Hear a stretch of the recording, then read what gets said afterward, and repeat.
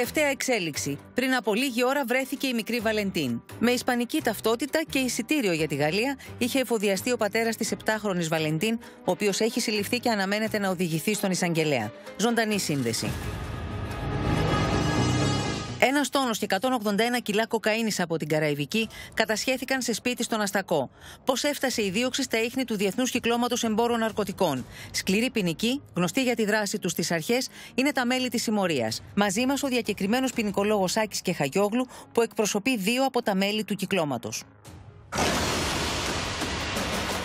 Απευθεία σύνδεση με το μεικτό ορκωτό εφετείο Λαμίας. Αναβιώνει στη δικαστική αίθουσα ένα έγκλημα που είχε συγκλονίσει το Πανελλήνιο. Στο εδόλιο κάθεται και πάλι ο 45χρονο, ο οποίος κατηγορείται πως σκότωσε με 45 μαχαιριές την 32χρονη νύφη του, με το 2,5 χρόνων γιο της να βρίσκεται στο σπίτι και αμέσως μετά αποπειράθηκε να βάλει τέλος στη ζωή του.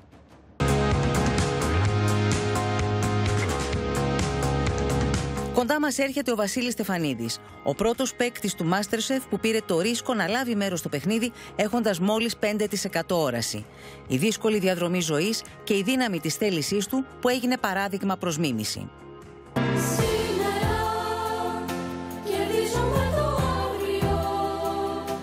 Έλα και εσύ να γίνεις ένας κρίκος αγάπη στην αλυσίδα της ελπίδας. Δύο 24 ώρα πριν το μεγάλο μαραθώνιο της εκπομπής μας, η προσφορά αγάπη συνεχίζεται. Η ελπίδα είναι μια λέξη που κρύβει πολύ δύναμη μέσα της. Το να προσφέρεις στον συνάνθρωπό σου και ειδικά στα παιδιά, σε κάνει να κοιμάσαι καλύτερο το βράδυ. Στηρίζουμε το Ίδρυμα Ελπίδα και το σπουδαίο έργο της κυρίας Μαριάννας Βαρδίνο Γιάννη. Γίνε και εσύ ένας κρίκος αγάπης στήριξε το έργο της ελπίδας.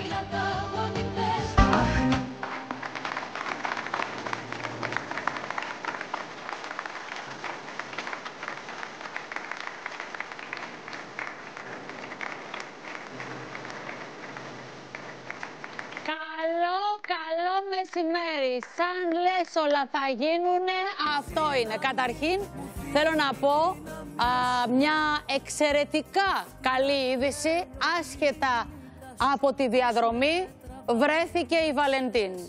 Όλη η αλήθεια του ρεπορτάζ από τον Γιώργο Καραϊβάση σε λίγο. Η Ρούλα Κουσκουρή βρίσκεται σε ειδικό σημείο, σε ειδική αποστολή. Θα τα πούμε όλα αυτά σε λίγο. Αλλά καταλαβαίνετε τι σημαίνει το βρέθηκε ζωντανή η Βαλεντίν. Σημαίνει πως μια διαδρομή ενός κοριτσιού για να φτάσει σε ένα σημείο κρύβει από πίσω πολλές αλήθειες που σίγουρα θα αποκαλυφθούν. Λοιπόν, τώρα, σε αυτό το σημείο θέλω να πω ότι χθες στη σύσκεψη, α, Σπύρο Σιγούρο, είπα ότι σήμερα θα ξεκινήσω με ένα βίντεο. Α, ίσως πολλές φορές τα λόγια είναι περιτά, Σπύρο μου. Ε, εγώ το μόνο που θέλω να πω σε αυτή την ιστορία, γιατί είναι μια πολύ ιδιαίτερη ιστορία, αυτή τη Σοφία στα Χανιά, ότι έχεις να κάνεις με μια μητέρα η οποία έχει ένα παιδί που το είδε να νοσεί στα τρία του χρόνια. Ε, είναι σήμερα το παιδί αυτό στα 15-16. Έχεις μια μητέρα η οποία είναι ε, με ήρεμη την ψυχή της και ένας άνθρωπος που έχει επιλέξει με τη στήριξη και τη βοήθεια της ελπίδας όχι μόνο να πορεύεται με αυτό το παιδί, αλλά και να δημιουργεί και να ζει. Σήμερα η Σοφία είναι ένας άνθρωπος που φτιάχνει διακοσμητικά, κάνει πολύ ωραίες κατασκευές, όλα αυτά που τα έμαθε μέσα στην ελπίδα και έχει επιλέξει να ζήσει και να προσφέρει μαζί με τον μικρό Ραφαήλ. Λοιπόν, επειδή εγώ είπα τα πολλά λόγια είναι περιτά, αυτός είναι ο Ραφαήλ. Δώστε μου τα πλάνα. 19.059 ο αριθμός γράφοντας τη λέξη ελπίδα και φέρε μου γρήγορα τον πίνακα μέσα όσο θα δούμε σε πολύ λίγο. Α, παρακαλώ δώστε μας εδώ ζωντανά, ζωντανά. Βοηθήστε μας Γιώργο μου κάνει να συνεχίσουμε την εκπομπή και σήμερα ζωντανά ε, και να γράψουμε στο 19059 γράφοντας τη λέξη ελπίδα. Και επειδή η Σοφία είναι στα Χανιά, είναι στην Κρήτη, η Λεβεντογένα Κρήτη δεν μπορεί να μην δεν ανταποκριθεί σε αυτό το έργο. Εδώ σας θέλω τώρα, καλέστε, μπείτε και όλα θα πάνε καλά. Τι ωραίο γράφημα φτιάξατε, τι ωραίο γραφικό έτσι, δώστε το μου άλλη μία έτσι θα σας κάνουμε. Θα πηγαίνουμε σε κάθε γωνιά και θα ζητάμε αυτή την κλίση. Γιατί το ένα ευρώ είναι σημαντικό. Αυτή η μάνα πέρασε από την ελπίδα. Ξέρει τι θα πει παίρνω ελπίδα. Ξέρω τι θα πει μένω στους ξενώνες. Ξέρω τι θα πει α, υπάρχουν τε, ε, τελευταίας τεχνολογίας μηχανήματα. ξέρει τι θα πει επένδυση 50 εκατομμυρίων ευρώ, γιατί τα έζησε μέσα εκεί. Γνωρίστε λοιπόν και το γιο της Ραφαήλ.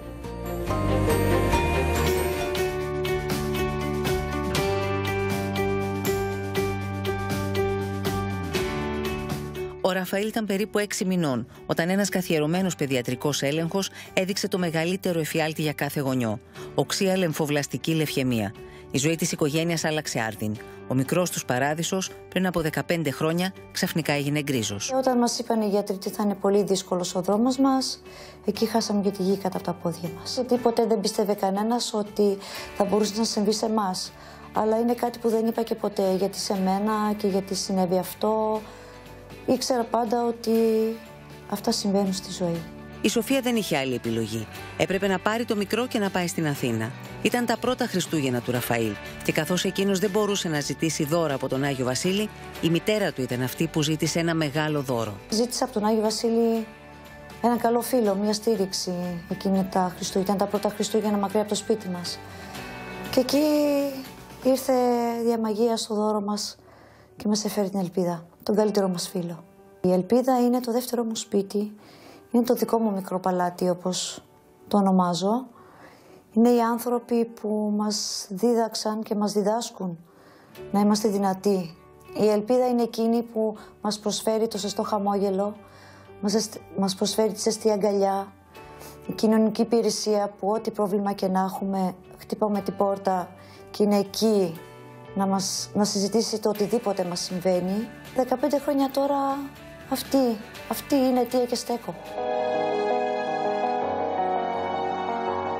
Όλα αυτά τα θεάριστα έργα τα έχει κάνει η κυρία Μαριάννα Βαρδινογιάννη. Είναι η μανούλα μας, είναι εκείνη που είναι δίπλα μας. Ο Ραφαήλ έπρεπε να υποβληθεί σε μεταμόσχευση μυελού των οστών. Η Σοφία πανικοβλήθηκε. Χίλιες σκέψεις πέρασαν από το μυαλό της. Εγώ τότε τα χάσα. Και έλεγα, Χριστέ μου, και αν δεν βρει, βρεθεί, και αν υπάρχει, και αν δεν υπάρχει, και πού θα βρεθεί, Τελικά μετά από 20 μέρες, παραμονή της γιορτής του, μας πήρανε τηλέφωνο και μου είπαν ότι βρέθηκε ένας Γερμανός δότης. Μεταμοσχεύτηκε ο Ραφαήλ 8 Εβδόμου του 2005 και όλα κυλήσαν καλά. Κρατάω την πρώτη επικοινωνία μου με το δότη του Ραφαήλ, τον Πίτερ. Λέει ε, σε ευχαριστώ πάρα πολύ για το γράμμα σου. Είμαι πάρα πολύ χαρούμενος που το μόσχευμά μου είναι επιτυχής και που ο μικρός γιος σου Ραφαήλ είναι σε καλό δρόμο ανάρρωσης. Για τον εαυτό μου είχα πιστεί από την αρχή ότι όλα θα πάνε καλά.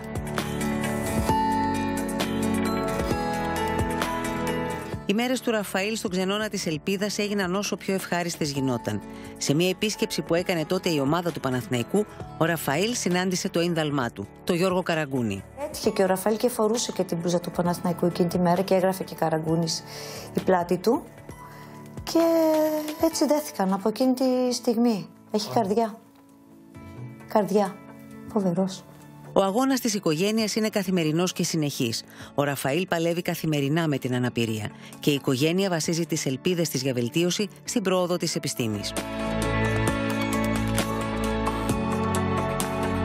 Η Σοφία μεταφράζει την αισιοδοξία της σε τέχνη. Έχει γεμίσει το σπίτι της από δικά της έργα, με τεχνικές που διδάχτηκε μέσα στην ελπίδα για να μπορεί να διοχετεύει τις σκέψεις της σε κάτι δημιουργικό. Ερχόταν η κυρία Ανθή και απασχολούσε τους μανούλες για να μην έχουμε αρνητικές σκέψεις, να είμαστε σε καλή διάθεση και έτσι μας έμαθε να κάνουμε ντεκουπάζ, να κάνουμε διάφορες χειροτεχνίες και έτσι έμαθα σιγά σιγά μου άρεσε και τη συνέχισα και στο σπίτι μου. Αγώνας, αισιοδοξία, πίστη. Το εκκλησάκι του Αγίου Ραφαήλ, στο σπίτι της οικογένειας, φιλοξενεί τις προσευχές τους και τους θυμίζει πως όλα είναι δυνατά, με υπομονή, προσπάθεια και αγάπη.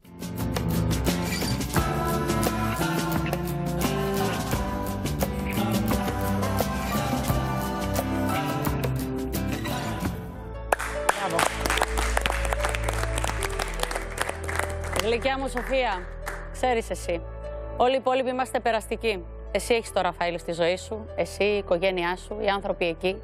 Τα έχεις αντιμετωπίσει όλα και είσαι παλικάρι. Δεν έχεις βραβευτεί μόνο γι' αυτό, βραβεύεσαι κάθε μέρα από τον ίδιο το Ραφαήλ. Και αυτή είναι η αλήθεια και κράτα το από μένα, όπως σε κοιτούσα στα μάτια όταν έβλεπα το βίντεο που ετοίμασε ο Σπύρος και που ε, εγώ ουσιαστικά αποτύπωσα στα μάτια μου τα μάτια σου, κράτα από μένα αυτό. Ότι όλη η αλήθεια της ψυχής σου για τον Ραφαήλ φαίνεται στα μάτια σου. Και το καταλαβαίνουν όλοι όσοι σε βλέπουν. Και είμαι σίγουρη πως ο Ραφαήλ με τα δικά σου μάτια έχει αγγίξει ουρανό. Λοιπόν, Αγαπημένοι μου τηλεθεατές, έλα εδώ να τη βλέπω την Κρήτη, έτσι. Ε, παίξαμε βίντεο από την Κρήτη 19059 γράφοντα τη λέξη Ελπίδα ή www.elpida.org ή 210 77 4 και 9, παρακαλώ, για να κάνετε τις καταθέσεις σας για αυτό το έργο που κοστίζει 1 εκατομμύριο ευρώ, που ουσιαστικά προνοεί για το 20% των παιδιών που αντιστέκονται στη μέχρι τώρα θεραπεία, που για το 80% των παιδιών πάει καλά, υπάρχει ένα 20% που χρειάζεται ε, γονιδιακή και κυταρολογική θεραπεία. Αυτά τα μηχανήματα λοιπόν έχουν έρθει. Ο χώρος έχει διαμορφωθεί α, στο ογκολογικό της Ελπίδας, στο ογκολογικό Μαριάννα Βαρδινογιάννη. Όμως λείπουν αυτή τη στιγμή τα μηχανήματα για να τελειοποιήσουν το τεράστιο έργο επένδυσης 50 εκατομμύρια ευρώ μέχρι τώρα από την κυρία ε, Μαριάννα Βαρδινογιάννη αυτά τα 30 τελευταία χρόνια και το Σύλλογο Ελπίδα. Λοιπόν, Γιώργο, Πάμε στο θέμα της, του κοριτσιού, της Βαλεντίν, για ευνόητους λόγους τώρα πια, επειδή το κορίτσι έχει βρεθεί. Ο πατέρας είναι υπόδικος πια, πώς έφτασε το κορίτσι του εκεί, με ποιον τρόπο. Κρύβουμε τα πάντα και μάλιστα εμείς δεν το σκεφτήκαμε. Μου μετέφεραν ότι ε, αυτόματα εσύ έκανες το συνειρμό από τη στιγμή που οδηγείται στον εισαγγελέα πια. πρέπει να κρυφτεί το πρόσωπό του, να κρυφτούν τα πρόσωπα. Γι' αυτό και οι τηλεθεατές βλέπουν αυτά τα πρόσωπα κρυμμένα πια. Η αγαπημένη Βαλεντίν βρέθηκε. Η Ρούλα Κουσκουρή βρίσκεται στα δικαστήρια, Γιώργο μου. Να ξεκινήσουμε όμως ε, σιγά σιγά, δεν ξέρω από τη Ρούλα ή από σένα, καθοδηγήστε το, το, ε, τον τρόπο για να μπορέσω κι εγώ ε, να συντονίσω αυτή την κουβέντα. Καλύτερα να μας πει τα πρώτα στοιχεία η Ρούλα. Ωραία. Να... Ας ξεκινήσουμε λοιπόν από τη Ρούλα. Ρούλα μου. Καλό μεσημέρι λοιπόν από τα δικαστήρια της πρώην σχολής Ευελπίδων εδώ που αναμένεται από λεπτό σε λεπτό να φτάσει ο πατέρας της 7χρονης ε, Βαλεντίν. Αυτό που έχουμε ως πληροφορία είναι ότι δεν θα φτάσει εδώ μόνος του. Δεν ξέρω ο Γιώργος Καραϊβάς πιθανότητα να το γνωρίζει αυτό. Η πληροφορία που έχουμε εμείς εδώ είναι ότι θα έρθει μαζί με έξι ομοεθνείς του και θα σας πω για ποιο λόγο έρχονται αυτά τα άτομα εδώ σήμερα στην εισαγγελία προκειμένου να τους απαγγελθεί και η κατηγορία επισήμως και να οδηγηθούν στο αυτόφερο τριμελές πλημελιωδικείο Αθηνών γύρω μετά, περίπου μετά τις 2 ε, το μεσημέρι. Αυτό που γνωρίζουμε αυτή τη στιγμή είναι ότι στη δικογραφία, στο φάκελο που συνοδεύει τόσο τον πατέρα της Βαλεντίν όσο και τα υπόλοιπα έξι άτομα υπάρχουν οι κατηγορίες για παράβαση του άρθρου 216 του ποινικού κώδικα. Δηλαδή για κατοχή πλαστών εγγράφων τα οποία δεν αφορούν όμως την άδεια διαμονής του και το ταξιδιωτικό του έγγραφο αλλά έγγραφα που βρέθηκαν στην κατοχή των άλλων ομοηθνών του τα οποία ήταν πλαστά έγγραφα είχαν όμως κάποια στοιχεία του συγκεκριμένου πατέρα, του πατέρα της Βαλεντίν και κατηγορείται επίσης και για παράβαση του νόμου περί αλλοδαπών. Όπως σας είπα, αναμένεται από λεπτό σε λεπτό να φτάσουν εδώ, να μεταχθούν δηλαδή από την υποδιεύθυνση ε, ασφαλείας ε, Αθηνών.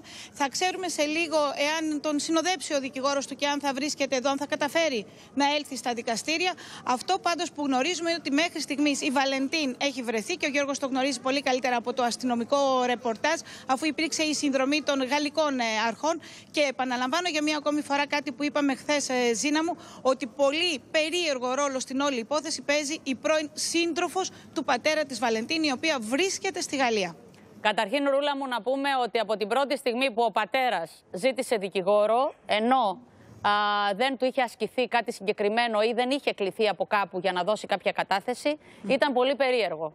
Ε, πώς εντόπισε τον κύριο Νουλέζα, πώς έβαλε έναν άνθρωπο να εντοπίσει ένα δικηγόρο πριν ακόμα του, ακόμη του απαγγελθεί οποιαδήποτε κατηγορία. Να το ξεκινήσουμε από εκεί. Από την άλλη πλευρά, η κυρία Νικολούλη, η Αγγελική, η αγαπημένη Αγγελική, α, είχε βρει κάποιους ανθρώπους στο σχολείο που είχαν πει από την αρχή ότι αυτό το παιδί ήδη είχε πει στο σχολείο ότι θα τους αποχαιρετούσε γιατί θα πήγαινε κάπου αλλού. Άρα το παιδί κάτι γνώριζε. Από την άλλη πλευρά ήταν πολύ περίεργο ότι αυτός ο άνδρας κοιμήθηκε ενώ α, το παιδί του το είχε στείλει στον μπακάλικο της γειτονιάς, να το πω έτσι λαϊκά, δεν έχει σημασία που, το, που πήγε, ε, και δεν επέστρεψε, δεν το είδε όταν ξύπνησε και δεν το αναζήτησε την ίδια μέρα, αλλά άφησε ένα ε, εύλογο χρονικό διάστημα προκειμένου να την, να την αναζητήσει και να καταγγείλει την εξαφάνισή της στις αρμόδιες αρχές. Ρούλα μου. Βέβαια, Ζήνα, εάν μου επιτρέπεις να σημειώσω εδώ ότι όλα αυτά που μεταφέρουμε εμείς όλες αυτές τις μέρες στην εκπομπή είναι όσο ο ίδιος ο πατέρας έχει ισχυριστεί. Δηλαδή, εκείνος είπε ότι 23 Δεκεμβρίου ήταν η μέρα που έστειλε το παιδί του στο γειτονικό μαγαζί για να πάρει τα νερά. Εκείνος είπε μετά ότι έπεσα για ύπνο. Την επόμενη μέρα πήγε και έκανε τη δήλωση εξαφάνισης. Πάντοτε όλα αυτά είναι σύμφωνα με τα λεγόμενα Εννοείται. του πατέρα. Α κρατήσουμε μία μικρή επιφύλαξη Η- και για το τι ακριβώς συνέβη και ποιες είναι οι- οι σωστές ημερομηνίες που το παιδί μπορεί να έφυγε Σωστά. από την Ελλάδα για τη Γαλλία. Έχεις πολύ δίκιο, Ρούλα μου. Υπονοείς λοιπόν ότι α, ακόμη δεν ξέρουμε αν αυτά τα στοιχεία που ο ίδιος έδωσε είναι στη συγκεκριμένη ημερομηνία Είναι ή έτσι. το παιδί από την ημέρα που αποχαιρέτησε το σχολείο του Πέρασαν ε, τρεις μέρες. πέρασε τα σύνορα και ήταν ήδη α, στη Γαλλία όπου και εντοπίστηκε. Έχεις απόλυτο δίκιο. Ε, Γιώργο μου, ε, πώς φτάσαμε ως εδώ, ποια ήταν τα στοιχεία, γιατί από χθες εσύ προνόησες και το είπες εδώ α, και η Γιώτα α, συμφώνησες σε αυτό που έλεγες, ότι δεν μπορούν να κρατούν έναν άνθρωπο για τόσες ώρες και να δίνει κατάθεση αν δεν έχουν κάποια στοιχεία α, στις αστυνομικές αρχές που να ομολογούν, τουλάχιστον να συνομολογούν σε κάποια πράξη. Καταρχήν σε αυτό που συζητούσατε πριν με τη Ρούλα να πούμε ότι έχουμε μεταφέρει από εδώ την εκτίμηση των αξιωματικών της αστυνομίας ότι η Βαλεντίνα έφυγε από την Ελλάδα τρεις ημέρες μετά τη δήλωση εξαφάνισή της. Το μεταφέραμε αυτό σύμφωνα με εκτιμήσεις. Προφανώς προέρχεται σε κάποιο ε, πληροφοριακό υλικό το οποίο είχε συγκεντρώ, είχαν συγκεντρώσει οι αστυνομικοί της ασφάλειας και για το συγκεκριμένο λόγο το έλεγαν. Τώρα σε ό,τι αφορά την αστυνομική τακτική. Κοιτάξτε, πολλοί κόσμος αναρωτιόντουσαν- αναρωτιόταν γιατί το αυτονόητο, έτσι. Αυτά που περιέγραψες πριν.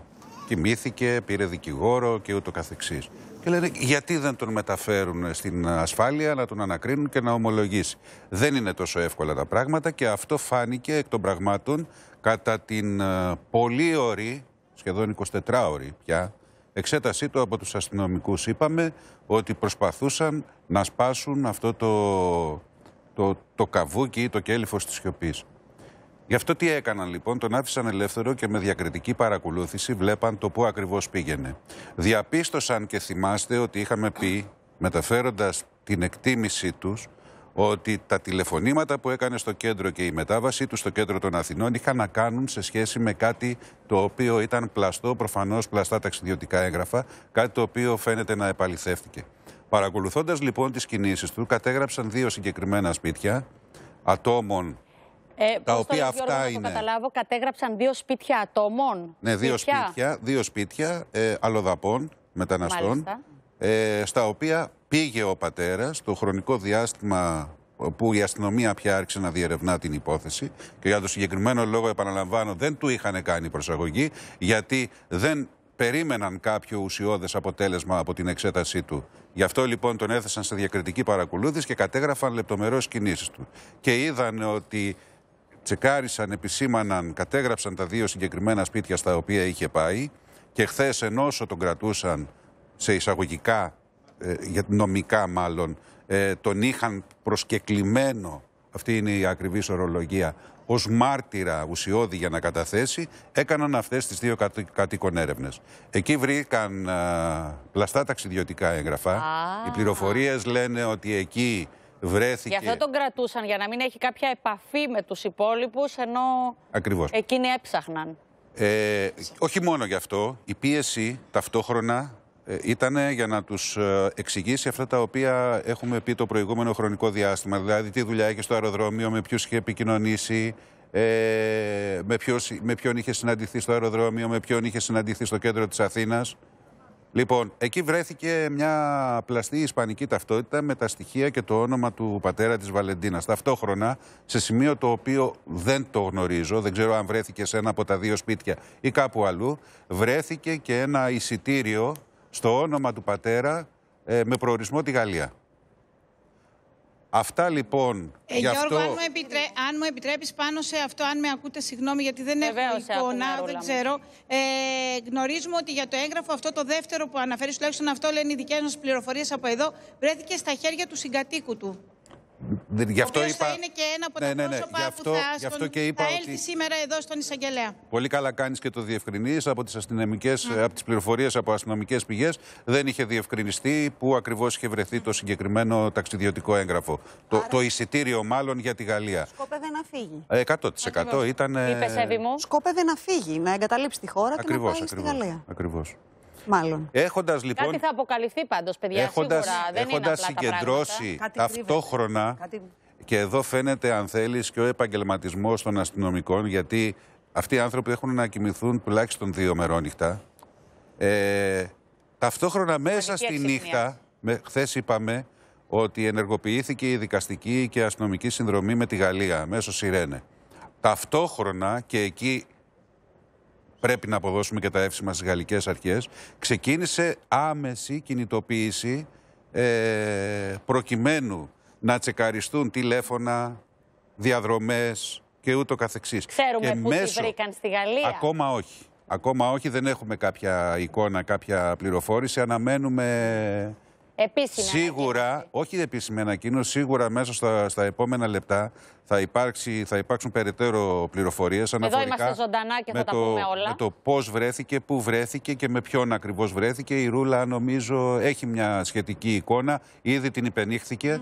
Ε, το σημαντικό είναι ότι η πληροφορία, οι πληροφορίες λένε ότι βρέθηκε η Βαλεντίνα, είναι καλά στην υγεία της, είναι πάρα πολύ καλά στην υγεία της, έτσι, δεν ε, υπάρχει κάτι και από αυτό τουλάχιστον που προσλαμβάνουμε εμείς ως περιραίουσα ε, ατμόσφαιρα σε ό,τι αφορά την ενημέρωση από τη Γαλλία προς, την, ε, ε, προς τις ελληνικές αρχές είναι ότι η εικόνα που παρουσιάζει το παιδί δεν είναι η εικόνα ενός τρομαγμένου παιδιού το οποίο έχει απαχθεί οτιδήποτε άλλο. Έτσι.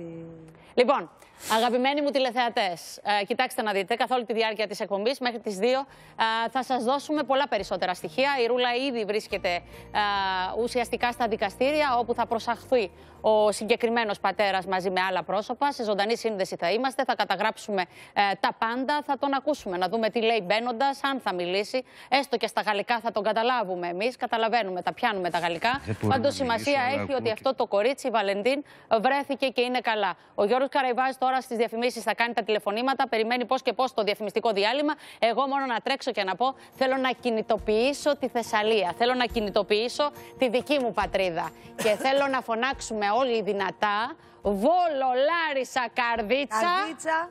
Και τι άλλο, έλα να σε δω αν ήσουν καλή στη γεωγραφία. Έτσι και έτσι. Τι να πω. Τρίκαλα Μαρή. Τρίκαλα. Τα τρίκαλα Γιατί να Μαρή. μην πω και παλαμά. Είναι η Θεσσαλία και ο Τέρναβος, το καρναβάλι όλοι και τα φάρσαλα. Άγιος Δημήτριος που είναι το χωριό μου. Και το πήλιο Μαρή. 19059. Λοιπόν, αγαπημένοι μου τηλεθεατές, 19059 γράφετε τη λέξη ελπίδα. Θέλω τη Θεσσαλία να τη δω παρούσα και να κοντραριστεί η Θεσσαλία με την Κρήτη. Έτσι σας θέλω τώρα τι έβαλα δυο αγάπες μου. Πώς να το κάνω αυτό, τίνος καρδιά να κάνω Σπύρο και τίνος να χαλάσω η μάνα. Διαφημίσεις και πάει να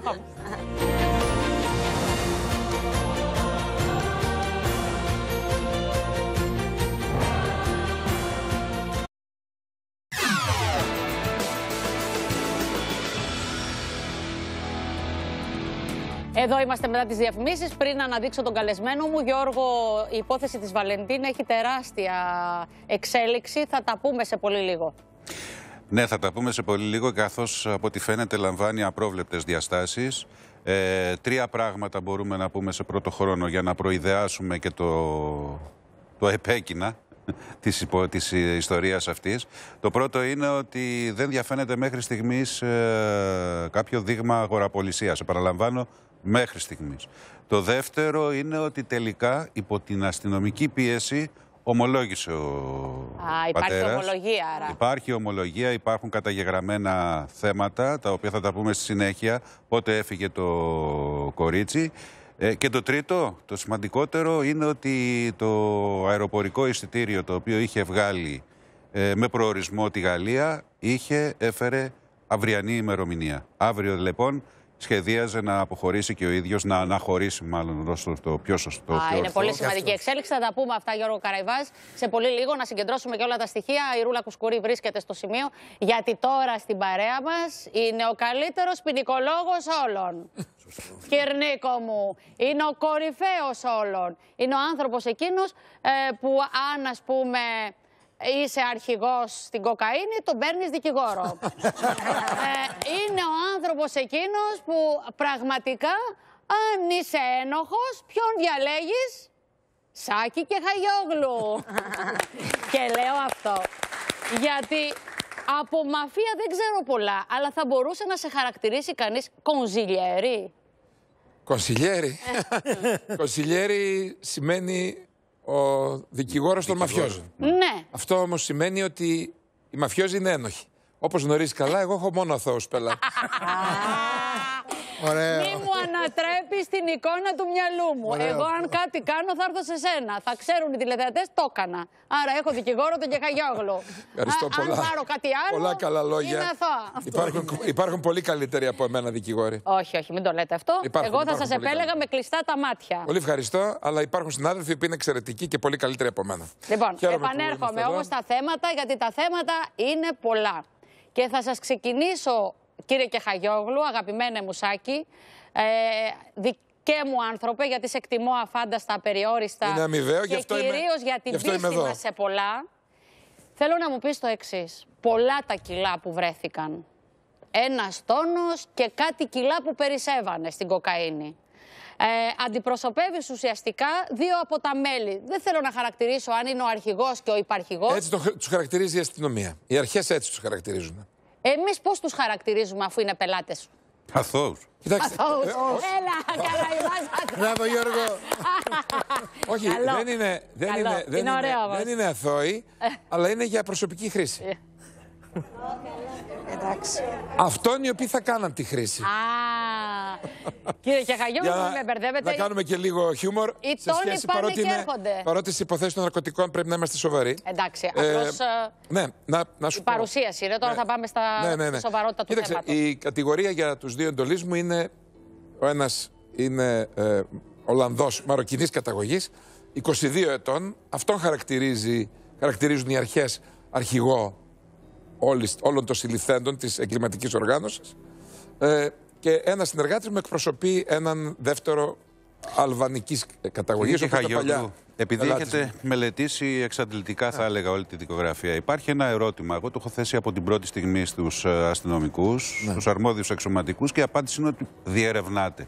Διαβλέπετε οποιοδήποτε στοιχείο, όχι με τις τελευταίες εκαθαρίσεις μαφίας του Μαυροβουνίου, γιατί αυτό δεν θα μπορούσε να έχει κάποια άμεση σχέση και εμπλοκή, αλλά βλέπετε να υπάρχει το οποιοδήποτε στοιχείο με διασύνδεση που να παραπέμπει στις μαφίες του Μαυροβουνίου; Όχι, δεν εμπλέκεται, δεν εμπλέκεται, α, δεν εμπλέκονται άτομα τα οποία να έχουν εθνικότητα ή καταγωγή από το Μαυροβούνιο. Σίγουρα. Εμπλέκονται άτομα ε, από την Ολλανδία και αλβανικής καταγωγής κυρίως.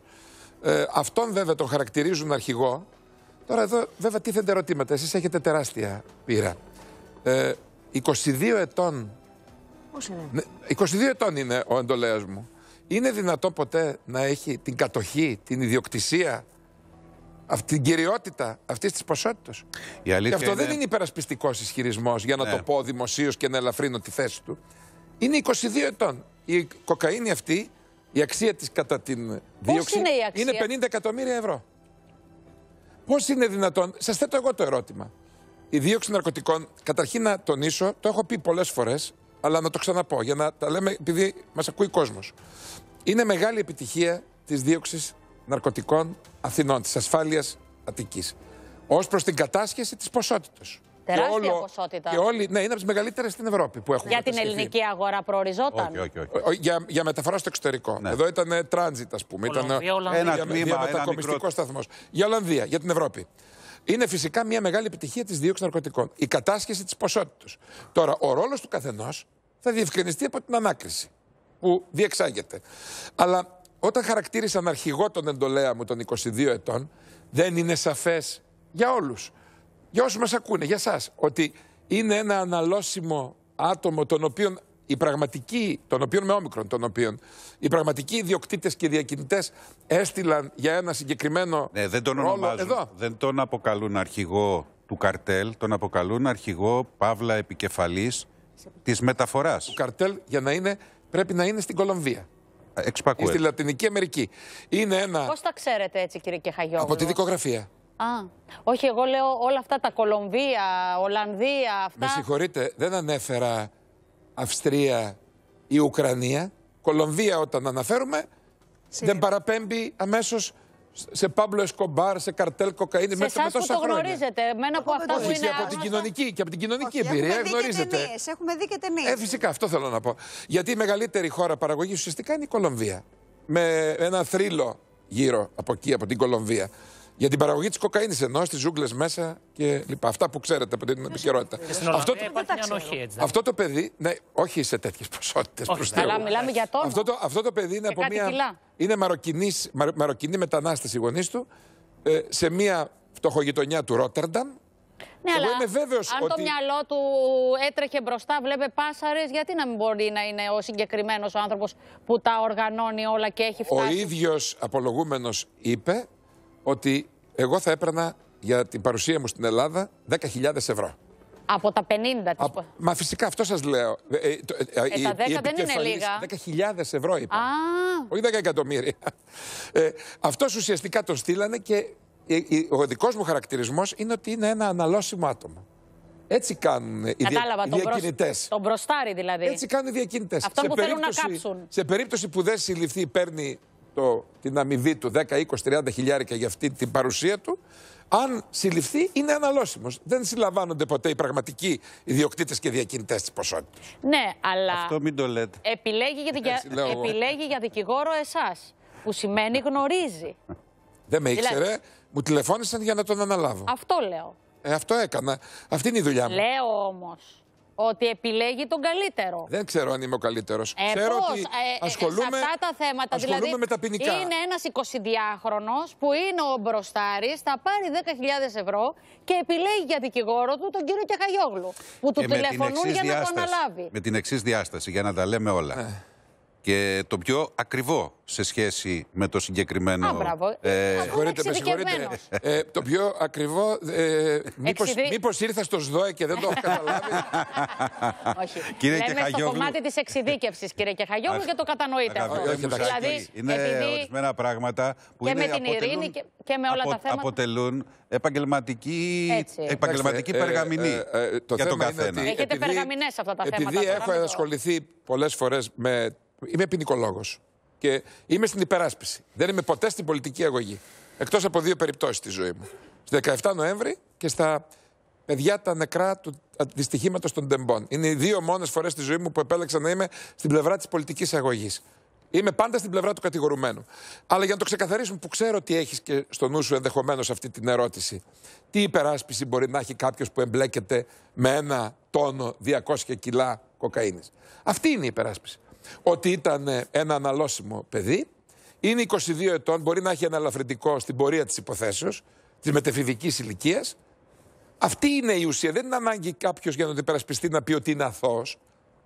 Υπάρχουν, υπάρχουν ε, διαβαθμίσεις στην ποινική αντιμετώπιση Άρα κάθε μπαίνει κατηγορουμένου. και η μετεφηβεία μέσα. Είναι 22 ετών. Το λέει Άρα, ο ποινικός κώδικας του προβλέπει. Αφού είναι μπροστάρης λοιπόν, ο άνθρωπος που τον επέλεξε να το περάσει από Ελλάδα, ήξερε ότι αν τον πιάνανε υπάρχει Αυτά, μετεφηβεία. αυτά δεν γνωρίζω αν γνωρίζουν τον ελληνικό ποινικό κώδικα αυτοί οι οποίοι μου τηλεφώνησαν για να αναλάβω την υπόθεση. Αλλά σας λέγω χωρίς να αποκαλύπτω κάτι το φοβερό ότι αυτή είναι η υπερασπιστική θέση του κατηγορουμένου. Να- Και μάλιστα, να πω και αυτό, με συγχωρείτε, ότι ενεπλα- στην υπόθεση φαίνεται τις τελευταίες πέντε μέρες. Μετά από 18 μήνες παρακολούθηση και άρση απορρίτου και απομαγνητοφωνήσεις και όλα και, Και διείσδυση undercover, αστυνομική. undercover Ξέρει ο αστυνομικούς. κ. Καραϊβάς. Ε, φαίνεται πέντε μέρες νωρίτερα. Τις τελευταίες πέντε μέρες. Άρα δείχνει και το βαθμό εμπλοκής του στην Δεν υπόθεση. ήταν όμως δοκιμασμένος σε άλλες περιπτώσεις. Δεν έχει λευκό, έχει λευκό ποινικό μητρό. Άρα είναι ο πρώτερος σύνομος Και πώς βία τον που ε- θα έλεγε πώς η τον ε- Γιώτα. Κυπουρά. Την ώρα, την ώρα του δικαστηρίου. Αλλά σας λέγω περίπου. Άρα πώς υπάρχει είναι, και για να- πρώτερος σύνομος βίος. Υπάρχει, αλλά αυτό αρκεί να αναγνωριστεί και από το δικαστήριο. Δεν αρκεί να, να, το να πω λίγο επικαλεστώ. κάτι. Αυτή τη στιγμή ο πελάτης σας βρίσκεται στις φυλακές; Ναι. Εδώ. Στην Ελλάδα, φυσικά. Στην Ελλάδα. Κρίθηκε προσωρινά κρατούμενος, αναμενόμενο. Ναι. Με σύμφωνη γνώμη ανακριτού και εισαγγελέω. Προφυλακίστηκε. Τώρα θα κάνω, Και μέσα στου 18 μήνες. θα κάνω την ερώτηση που θέλουν να κάνουν όλοι, αλλά λένε τι χαζή είμαι και θα την κάνω αυτή; Ε, είμαι χαζή είμαι και θα την κάνω. Όλος αυτός ο τόνος και τα 280 αυτό. υπόλοιπα κιλά. Πόσα για να μην τα πω, να τα πείτε εσείς με ακρίβεια, δεν θέλω να κάνω λάθη. Ένα στους τόνους. 181, το λέει ο τίτλος σας. Ένα 181. Δεν το λέμε λάθος. Όχι, σωστό είναι. Είμαστε σωστοί. Ένα, εκα- ένα τόνο Ε, τώρα και πέντε, 181. πέντε πάνω, πέντε κάτω τώρα. Είναι χιλιάρικα αυτά όμως από ό,τι ξέρω. Όχι στα Ε, κιλά μιλάω. υψηλής καθαρότητας, Πλήρη- Ναι, 100%. Τώρα θα μου τα 100%, πεις. το Ένα, οποίο- ένας τόνος και 181 κιλά. Αφού κατασχέθηκαν, πού πήγαν και τι γίνονται αυτά; Κατασχέθηκαν και θα καταστραφούν. Α, Το κατασχέθηκαν. δικαστήριο, κάμινο. το δικαστήριο με την απόφασή του, το πρωτόδικο και το εφετείο όταν γίνει, διατάσσει τη δίμευση και καταστροφή των ναρκωτικών σε ουσιών. υψηκάμινο συνήθως στον Ασπρόπυργο. Αυτό δεν το ήξερα, ας πούμε. Κάθε. Το γνωρίζει ο κ. Καρυβά. Είτε είναι χασίς, είτε είναι οτιδήποτε είναι, το δικαστήριο διατάσσει τη δίμευση και καταστροφή των ναρκωτικών ουσιών. Αυτό λοιπόν το κόστος αυτών των τόνων και των κιλών είναι 50 εκατομμύρια ευρώ. Αυτό Όταν το κατάλαβα. διακινηθεί. Όταν διακινηθεί. Από εκεί που προήλθε, δεν μπράβο. είναι αυτή η αξία του. Ποια είναι η αξία; Πάρα πολύ, πολύ χαμηλότερη. Δηλαδή, Δεν μπορώ να σας πω, αλλά ένα κιλό όταν πωλείται γύρω στις 30-40 χιλιάδες στην Ευρώπη, ναι. αυτό μπορεί να είναι ένα-δύο χιλιάρικα στη Λατινική Αμερική. Προσέξτε Η όμως και την διακίνηση, του, ειδοποιώ η διαφορά. διακίνηση του και η περαιτέρω διάθεση αυξάνει την τιμή. Όχι. Υπάρχουν μεσάζοντες, όπως όλα τα προϊόντα. Ναι, Φυσικά. προσέξτε όμως και την ειδοποιώ διαφορά. Όταν έχεις ένα προϊόν 100% καθαρότητας, ε, αυτό στη μεταποίηση, σε εισαγωγικά το λέω, μέχρι δηλαδή να φτάσει στον τελικό χρήστη, Στην υπόκειται, υπόκειται σε κάποιες διαδικασίες Νόθευση. που- νόθευσης Που Πες λέμε το πολλές σωστά, φορές. που το λέει ο δικηγόρος, το δέχομαι. Και όταν Το ο- βλέπουμε στην πράξη, δεν είναι όταν εφεύρεση. φτάνει, όταν φτάνει στον τελικό χρήστη ε, κατά 40% νοθευμένο, αυτό σημαίνει ότι Έχει πολλαπλασιαστεί η αξία. του. η, η αξία ακριβώς έχει Έτσι φτάσει ακριβώς. ήδη στα 90 εκατομμύρια. Από τα 50 έχουμε φτάσει ήδη στα 90. Αν δεν υποστεί ακόμα μεγαλύτερο ποσοστό νόθευσης. Ξέρετε κύριε Κεχαγιόγλου, Σάκη μου, τι θέλω να καταλάβω. Πόσους τέτοιους πιάνουμε συνεχώς, δηλαδή σε αυτή τη χώρα που είμαστε το κέντρο πολιτισμού και τέχνης και το κέντρο διακίνησης αφού από εδώ περνάνε όλοι. Είναι η γεωγραφική μας θέση. Ναι, αλλά Τον κόμβο πόσους μεταξύ πιάνουν Ασίας- έτσι, δηλαδή τώρα αυτή ήταν πολύ τόνοι. Κοιτάξτε, Είναι- είμαστε, είμαστε θαλάσσια χώρα. Το Ε, σταυροδρόμιο. καταλαβαίνετε, από τον καιρό του Βυζαντίου, από τον καιρό τη Βυζαντινής Αυτοκρατορίας, η μοίρα και για καλό και για κακό μας έριξε εδώ, από την αρχαιότητα. Είπα, είμαστε θαλάσσια χώρα, περιβάλλεται από περνάνε θάλασσα και από το με Πειραιά καράβια. και από τα λιμάνια και από εδώ και από εκεί. Υπάρχει, ε, ε, για να φτάσουν στην Ευρώπη, υπάρχει διαμετακομιστικό σταθμός, να το πω σε εισαγωγικά. Γι' αυτό και κατάσχω. Όχι τέτοιες ποσότητες φυσικά. Όχι, Αυτό βέβαια. λέμε, αλλά, Είναι σπανιότατες τέτοιου είδους ποσότητες. αλλά για κάτι 300-500 κιλά έχω θυμ... εγώ Ε, θυμάμαι ο- έχουμε ξανααναφερθεί. Αυτές οι Είναι χασί κατασχέσεις, συνήθως. αυτές οι κατασχέσεις είναι πιο συνήθεις στις, ε, στην Ισπανία, δηλαδή πλοία τα οποία προσεγγίζουν και έχουν γίνει ρεσάλτο, θα λέγαμε, της δίωξης ναρκωτικών σε συνεργασία με τη Διαντέα Ναι. στο, κοντά στα, στον Ατλαντικό, κοντά στα ε, θαλάσσια σύνορα με την... Τα Κανάρια νησιά ναι, είχαν ακριβώς, περάσει ακριβώς. και αυτό το συγκεκριμένο Ε, είχε περάσει από Τενερίφη Ακριβώς. νωρίτερα. Ακριβώς. Θ- Όμως, να, καταρχήν να πούμε ότι έχουν γίνει δύο, παγκο- δε- δύο πόλεμοι του οποίου στην ε, ιστορική διαδρομή.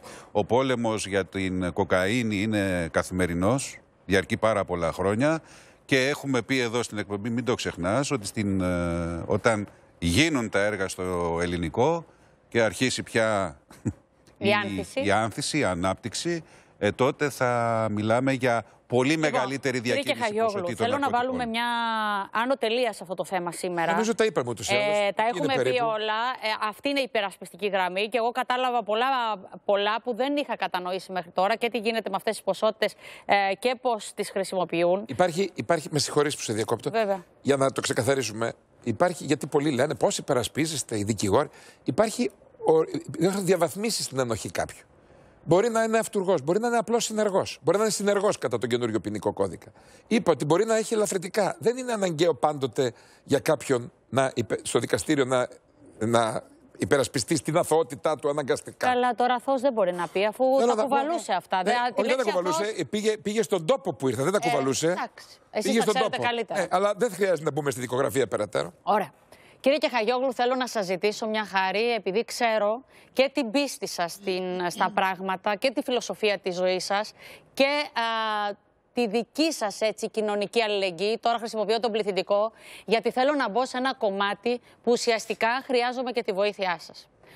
Α, ο Σύλλογος Ελπίδα τα τελευταία 30 χρόνια έχει επενδύσει και η οικογένεια Βαρδινογιάννη και η κυρία Βαρδινογιάννη τρι- ε, ε, 50 εκατομμύρια ευρώ α, για τα τελευταία τεχνολογίας μηχανήματα α, στο Σύλλογο Ελπίδα, ώστε τα παιδιά μας α, να έχουν έτσι ένα ποσό, ποσοστό ε, ζωής τεράστιο. Μιλάμε τώρα για το 3 στα 4 παιδιά γίνονται καλά.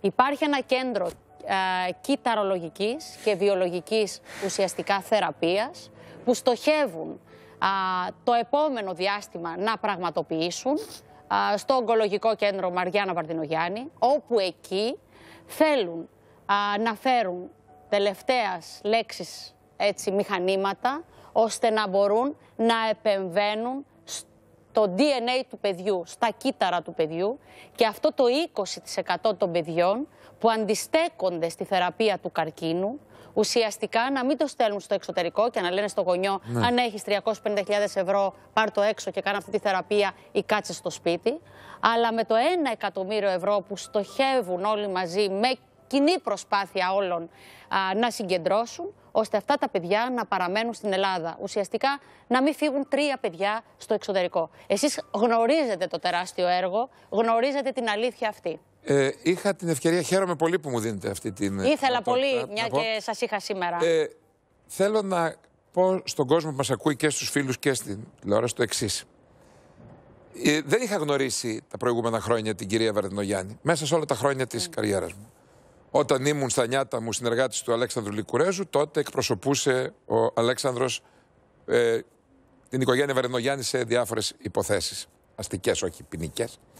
Ε, τη γνώρισα πρόσφατα, πριν από δύο μήνες περίπου, με αφορμή την επίσκεψη στην Ελλάδα του νέου Αρχιεπισκόπου Θιατήρων και Μεγάλης Βρετανίας Νικήτα, που εξελέγει τον Ιούνιο, που είναι αγαπημένος φίλος πολλά χρόνια και είμαι και νομικός του σύμβουλος. Και η κυρία Βαρδινογιάννη ανέλαβε επίτιμη πρόεδρος του στην Ελλάδα του Συλλόγου για τη- των φίλων της Αρχιεπισκοπής Μεγάλης Βρετανίας και Θιατήρων. Εκεί λοιπόν τη γνώρισα και εντυπωσιάστηκα, όχι, την δημόσια εικόνα της την ήξερα. Ε, και δεν μιλάμε στο κανάλι που είναι ιδιοκτησία της οικογένειας, Βαρδινογιάννη, οπότε δεν θέλω να ακουστεί περίεργο ότι λέω αυτά τα πράγματα, γιατί δεν έχω απολύτως καμία νομική σχέση ή συνεργασία με τις επιχειρήσεις ή την οικογένεια. Αλλά για χρόνια σε παρέες, σε φίλους ιδιωτικά, έλεγα για το εκπληκτικό έργο της κυρίας Μαριάννα Βαρδινογιάννη, η οποία όχι απλώς έχει εκπληκτικό έργο, αλλά η οποία το κάνει με μεγάλη ταπειν- ταπείνωση, με μεγάλη ταπεινότητα. Και αυτόν τον άνθρωπο γνώρισα όταν μιλήσαμε και είχαμε για μισή ώρα, τρία τέταρτα την ευκαιρία παρουσία του Αρχιεπισκόπου Με- Μεγάλης Βρετανίας. Ε, μου κάνει εντύπωση η κυρία αυτή με κάπα κεφαλαίο, η οποία μέσα στην πλούσια οικογένεια την οποία έχει, στον άντρα της, τα παιδιά της, όλα αυτά τα χρόνια ασχολείται με, και έχει σώσει Πολλά παιδιά. Πάρα πολλά παιδιά. Και όποιος. Εγώ δεν έχω οικογένεια, δεν έχω παιδιά. Έχω όμως αγαπημένα ανήψια από τα αδέλφια μου. Και αγαπώ, λατρεύω τα παιδιά και παρακολούθησα και το μεγάλωμά τους.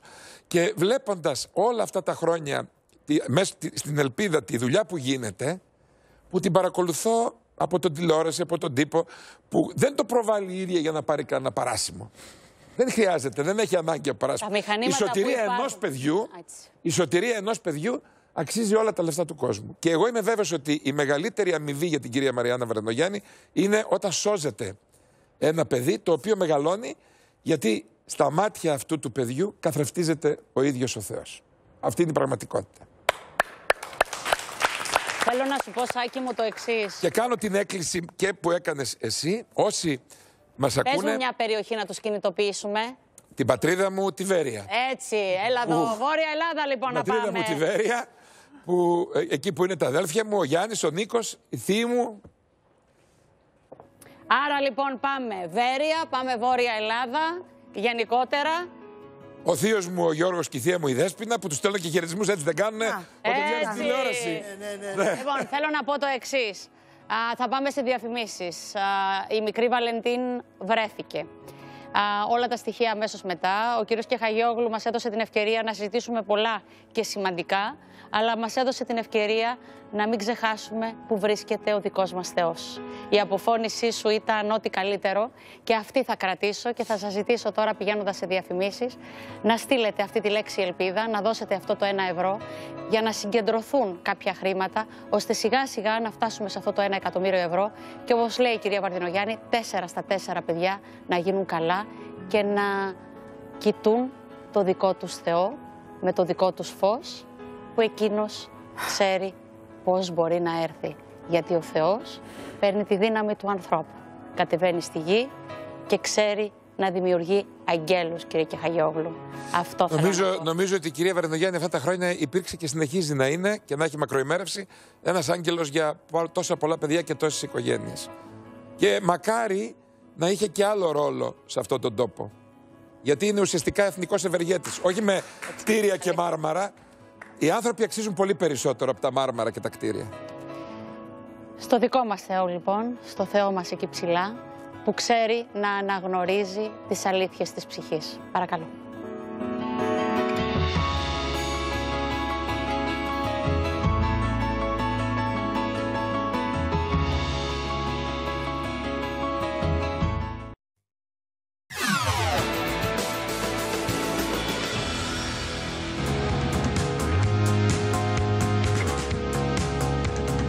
Κοντά μας έρχεται ο Βασίλης Στεφανίδης, ο πρώτος παίκτης του Masterchef που πήρε το ρίσκο να λάβει μέρος στο παιχνίδι έχοντας μόλις 5% όραση. Η δύσκολη διαδρομή ζωής και η δύναμη της θέλησής του που έγινε παράδειγμα προς μίμηση. Ο Βασίλης είναι ήδη εδώ. Ο Βασίλης κάτι κάναν στο διπλανό στούντιο του Σκούκου και μαγειρεύανε και μας ήρθε το κρεμμύδι και το σκόρδο. Και ξαφνικά ενώ το Βασίλη τον βλέπω να κάθεται ήρεμος, μόλις είδε και μύρισε σκόρδο και κρεμμύδι, εξαφανίστηκε από την καρέκλα. Τέτοιο πράγμα για τη μαγειρική, ρε Βασίλη, δηλαδή πραγματικά θα μας τα πει σε λίγο. Να δω αν τη μαγειρική την αγαπάς το ίδιο με τις γυναίκες. Μη μου γελάς εμένα, θα μου τα πεις όλα ένα-ένα. Έφυγε, κάνει έτσι και φεύγει. Βασίλη μου, σε λατρεύω. Λοιπόν, είσαι επεκταράς. Λοιπόν, τώρα, ε, πάμε στο θέμα της ε, Βαλεντίν. Γιώργο Καρεβάς, να μας δώσεις όλα τα στοιχεία όπως έχουμε προαναγγείλει στους τηλεθεατές. Είπες τρεις σημαντικούς πυλώνες εξέλιξης της υπόθεσης. Να τους επαναλάβεις για να μπούμε σιγά σιγά σε έναν έναν. Ναι, ο πρώτος είναι ότι προς το παρόν δεν προκύπτει υπόθεση. Δώστε μου και τη ρούλα για ό,τι θέλει να μπορεί να παρέμβει από τα δικαστήρια. Έλα, Γιώργο. Προς το παρόν, λοιπόν, από τη μέχρι τώρα έρευνα δεν προκύπτει υπόθεση αγοραπολισίας. Α, είναι σημαντικό αυτό. Μέχρι στιγμής. Μέχρι στιγμής. Το δεύτερο είναι ότι ομολόγησε τελικά ο πατέρας. Ε, είπε κάποια πράγματα αναφορικά με το πώς και πότε έφυγε η Βαλεντίνα από την Ελλάδα. Το τρίτο είναι ότι ε, ο ίδιος είχε βγάλει ένα αεροπορικό ειστήριο με προορισμό τη Γαλλία και με ημερομηνία 12 Φεβρουαρίου, δηλαδή αυριανή ημέρα. Αύριο δηλαδή, σαν αύριο, σκόπευε, και σκόπευε να φύγει, να φύγει 12 σήμερα. Ναι, σημερινή. Άρα σας είμαι... Να ρωτήσω κάτι, Γιώργο, όμως. Σημερινή, Μισό λεπτά. Σημερινή, θα φεύγει δηλαδή. Ενώ τον είχαν καλέσει από τις αστυνομικές αρχές και ήξεραν ότι έπρεπε να περιμένει.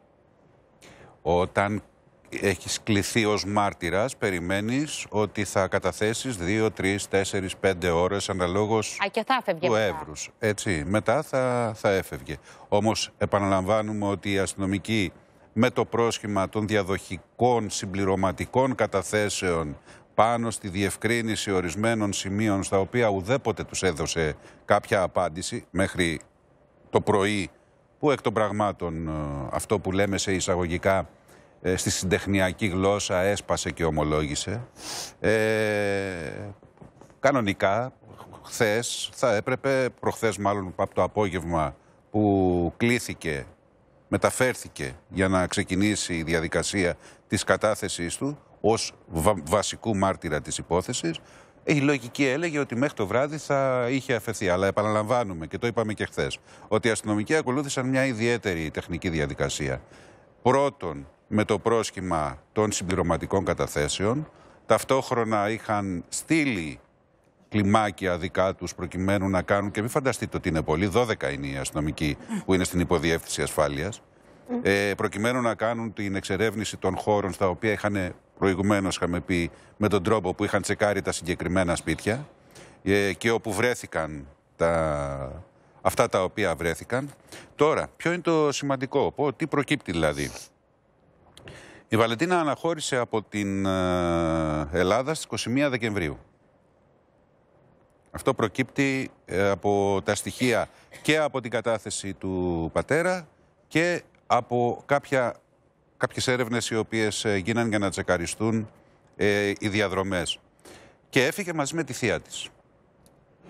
Α, θεία της, όχι... Δεν ξέρουμε, όταν λέω θεία, δεν μπορώ να προσδιορίσω αν είναι θεία από την πλευρά του πατέρα ή αν είναι θεία από την πλευρά της μητέρας της. Αυτό δεν το γνωρίζω. δεν είναι καθόλου θεία. Όχι, είναι θεία. Είναι. Αυτό είναι τσεκαρισμένο. Μάλιστα, Είναι συγκινητικό. μάλιστα τα εισιτήρια ε, που είχαν ε, βγει στην αρχή ήταν με προορισμό την ε, Νορβηγία.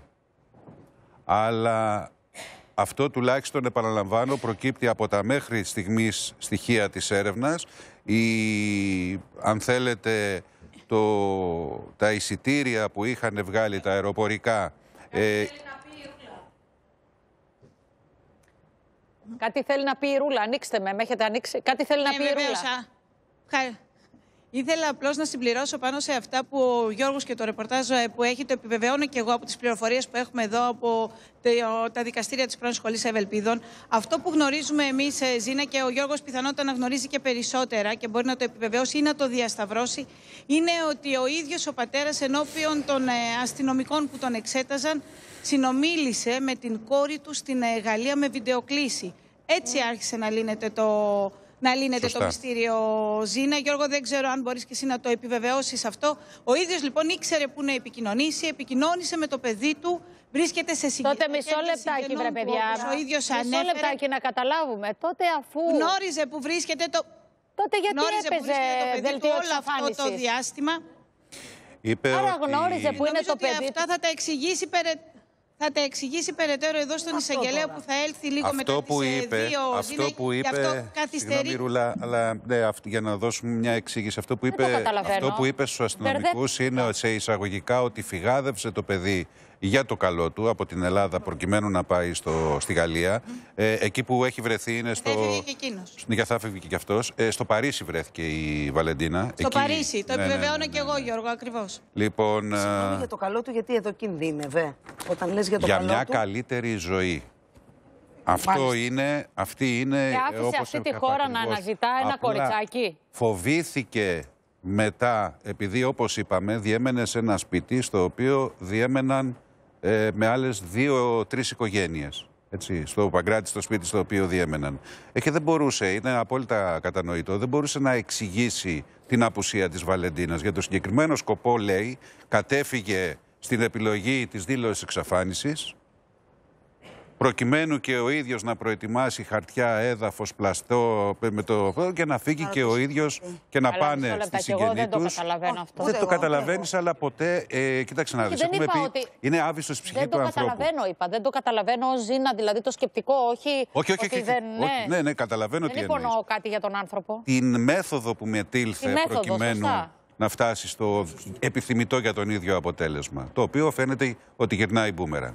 Γιατί τώρα να βάλεις, ας πούμε, Αυτό μια που περιμένω- χώρα να αναζητάει ένα κοριτσάκι ρούλα μου, να έχουν δηλώσει το χαμόγελο του παιδιού την εξαφάνιση, ε, να περιγράφεις πώς εσύ πήγες και κοιμήθηκες και μετά το κοριτσάκι δεν το ξαναβρήκες. Και να μπαίνεις σε αυτή τη διαδικασία είναι μια μέθοδος περίεργη. Αυτή δεν κατανοώ. Ε, Το να θέλεις να φύγεις από αυτή τη χώρα για να αναζητήσεις μια καλύτερη ζωή είναι δικαίωμα ε, του καθένα από εμάς. Συγκρατήστε, συγκρατήστε ότι αυτό που είπαμε και φαίνεται ότι επιβεβαιώνεται η, η εκτίμηση που μεταφέραμε των αστυνομικών ότι αναχώρησε 21 Δεκεμβρίου Το κοριτσάκι. το κοριτσάκι. Αυτό ήθελα και ακριβώς. Ναι. Αυτή η ημερομηνία είναι, Γιώργο, είναι νωρίτερα από τις 23 που ο πατέρας είχε δηλώσει. Και να υπενθυμίσουμε ότι το παιδί είχε πάει στο σχολείο μέχρι και τις 20 του μήνα. 20 Άρα μέχρι τις 20 είναι έλεγες αυτό που στους είπα μαθητές εγώ. του Ότι πρόκειται Χαιρέτησε να τους φύγει. μαθητές της, Ότι κανονικά. το κοριτσάκι Και χαιρέτησε τους συμμαθητέ. Ε, βέβαια. συγκρατήστε επίσης ότι τα αρχικά ε, εισιτήρια τα οποία είχαν εκδοχ- εκδοθεί ήταν για την Νορβηγία αλλά με κάποιον τρόπο δεν ξέρουμε πώς άλλαξαν αυτά στην, ε, και ίσως εκεί να δοθεί και μια εξήγηση από τις τηλεφωνικές Μάλιστα. επικοινωνίες που λέγαμε ότι υπήρχαν στο αεροδρόμιο τη συγκεκριμένη Λοιπόν, ημερομηνία. ε, Κάτι τελευταίο, Γιώργο, Ρούλα, από μιλάμε σένα. για 17. Ναι, κάτι τελευταίο. Μιλάμε για 17 συνομιλίες του πατέρα. Γνωρίζουμε και τον αριθμό των συνομιλιών. Αυτό που περιμένουμε τώρα είναι και γι' αυτό ίσως ενδεχο... μάλλον ενδεχομένως υπάρχει και η καθυστέρηση στο να φτάσει εδώ στα δικαστήρια στον εισαγγελέα ο πατέρας της ε, μικρής ε, Βαλεντίν. Είναι ότι μάλλον στη δικογραφία ενδεχομένως να υπάρχει και κάποια άλλη κατηγορία. Να μην μείνουμε δηλαδή μόνο στην παράβαση του άρθρου 216 που είπαμε νωρίτερα για τα πλαστά έγγραφα. Σίγουρα, να δούμε σίγουρα, τι θα γίνει σίγουρα. σε σχέση με το πώς έφυγε το παιδί από την Ελλάδα και ποια κατηγορία θα συνοδεύει αυτό το φάκελο σήμερα στον εισαγγελέα. Πάντως, Ρούλα μου, είναι ο πατέρας και άλλοι έξι μαζί Αυτό θα γνωρίζουμε οδηγηθούν. Ότι ο πατέρας και άλλοι έξι, άλλοι έξι είτε ομοεθνείς του είτε όχι, με τους οποίους είχε τις επαφές προκειμένου να, να λάβει στα χέρια του τα πλαστά έγγραφα ή οι ίδιοι είχαν στα χέρια τους τα έγγραφα, το πλαστό εισιτήριο που ανέφερε ο Γιώργος, το εισιτήριο μάλλον για Ισπανία με τα- την, ταυτότητα της, την ισπανική ταυτότητα με τα στοιχεία του πατέρα της ε, Βαλεντίν και τα υπόλοιπα έγγραφα για να μπορέσει να φύγει. Γι' αυτό και κατηγορείται και για την ε, παράβαση του νόμου περί αλλοδαπών. Μάλιστα. Λοιπόν, επειδή είναι σε εξέλιξη η υπόθεση, ε, σε αποδεσμεύουμε προς το παρόν ε, Ρούλα. Θα συνδεθούμε αμέσως ε, μόλις φτάσουν. Θα είμαστε σε απευθεία σύνδεση.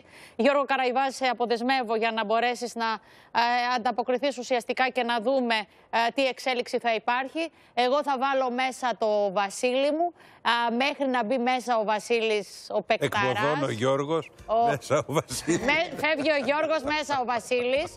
Ε, πόσο θέλω να τον πιάσω χεράκι χεράκι και να μπούμε μέσα, να κάνω το συνοδό του και να μου δείξει ο Βασίλης πώς είναι ο σωστός συνοδός. Εμένα δεν θα με συνοδεύσει Εκεί. την έξοδο.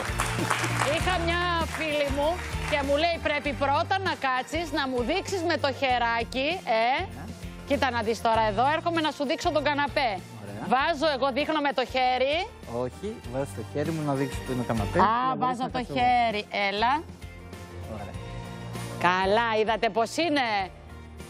Βασίλη, είσαι πολύ δυνατός. Ευχαριστώ πολύ. Πραγματικά, ήθελα πώς ήθελα να είσαι εδώ στον καναπέ και να τα πούμε όλα. Μόλις είδα να μπαίνεις, λέω στη Μαρίκα Μαυρομάτη, που είναι υπεύθυνη της εκπομπής και ο άνθρωπος που ουσιαστικά είναι ο συνδετικός κρίκος με το κανάλι, θέλω αυτό το αγόρι να έρθει στην εκπομπή όταν θα βγει και όποτε θα βγει. Να είστε καλά. Και ήθελα να είσαι εδώ κοντά μου. Ευχαριστώ πάρα πάρα πολύ και για την πρόσκληση. Με νιώθεις πόσο ήθελα να σε δω; Νιώθω, ναι. Το ξέρω. Νιώθω, νιώθω. Νιώθω πολλά. Λοιπόν, ποιος είναι ο Βασίλης, επιμελήθηκε το βίντεο το αγόρι ο Σπύρος. Εγώ θα το επιμελούμουν λίγο πιο ερωτιάρικα, λίγο διαφορετικά, λίγο θα έπαιζα αλλιώς. Μια νότα έχω Εσύ δώσει. έδωσες μια νότα. Εγώ θα το πήγαινα Μια πολύ φωτογραφία. γυναικεία. Valentine's Day, όλα τα πράγματα εδώ μπροστά.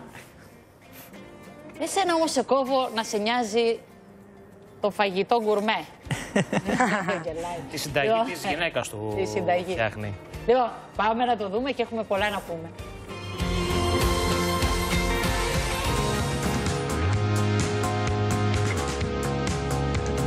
Μπορεί να μην κατάφερε ο Βασίλης Στεφανίδης να περάσει στην επόμενη φάση του Masterchef, όμως η συμμετοχή τους στο διαγωνισμό μαγειρικής του Star είναι ήδη ένα κερδισμένο στοίχημα. Τα εμπόδια και οι δυσκολίες είναι εκεί για να μας πεισμώνουν και να μας κάνουν καλύτερους. Ακριβώς αυτός. Και η λέξη ακατόρθωτο δεν γίνεται. Πρέπει σιγά σιγά να αρχίσουμε να τη βάζουμε στην άκρη. Όλα γίνονται αν το πιστέψουμε. Ο Βασίλης δεν γεννήθηκε πρακτικά τυφλός. Στα 12 του από τρικλοποδιά, σε σχολική εκδρομή, έπεσε πάνω σε τακούνι καθηγήτριας και εκεί έσπασε τη μύτη του. Τραντάχτηκε το οπτικό νεύρο και έτσι έχασε το φως του από το ένα μάτι. Στα 24 του παθαίνει ατροφία και δεν μπορεί να δει ούτε από το δεξί μάτι. Εγώ βλέπω μόλις ε, 5%. Ε, οπότε καταλαβαίνετε ότι υπάρχει ένα μικρό θεματάκι. Από την πρώτη στιγμή στο Masterchef συστήθηκε στο τηλεοπτικό κοινό με θάρρος για όσα του έχουν συμβεί. Γεννήθηκα με σπινομεγαλία και γεννήθηκα επίσης με τη δέκατη πιο σπάνια έλλειψη ενισμού στον κόσμο, η οποία ονομάζεται G6PD Χαριλάου. Χαριλάου λόγω της τοποθεσίας που μένω. Αυτό που λέμε όραση σε μένα αυτή τη στιγμή είναι ένας καθρέφτης αυτοκινήτου μεγάλος και όλο αυτό θολό. Τα πολλά προβλήματα υγείας δεν στάθηκαν εμπόδιο για να εντυπωσιάσει τους κριτές του Masterchef με το πιάτο του αλλά και με τη στάση ζωής του. Γι' αυτό έχω έρθει για να αποδείξω ότι τίποτα δεν είναι ακατόρθωτο και ότι ένα άτομο σαν εμένα μπορεί να, να μπει σε μια κουζίνα και να μαγειρεύει. Ασχολείται με τον αθλητισμό. Κάνει τοξοβολία και παίζει bowling. Πριν από λίγο καιρό, στο Παγκόσμιο Πρωτάθλημα Τυφλών και Μη Βλεπόντων Bowling κέρδισε το ασημένιο μετάλλιο και γνώρισε την Πολωνή σύντροφό του με την οποία αραβωνιάστηκαν. Μια συνταγή που μου έχει μάθει η αρβωνιαστικιά μου. Ε, ετοιμάζω μια πολωνική μανιταρόσουπα. Παρά τις δυσκολίες, παραμένει πάντα αισιόδοξος και χαμογελαστός. Και έχει και ένα μότο. Αυτό που αφήνει πάντα στο τέλος την καλύτερη γεύση. Έχω ένα μότο το οποίο είναι τέσσερα αρχικά γράμματα. Ε, είναι το ε, το θ, το y και το π. Είναι η υπομονή, η θέληση, η υπομονή και πείσμα.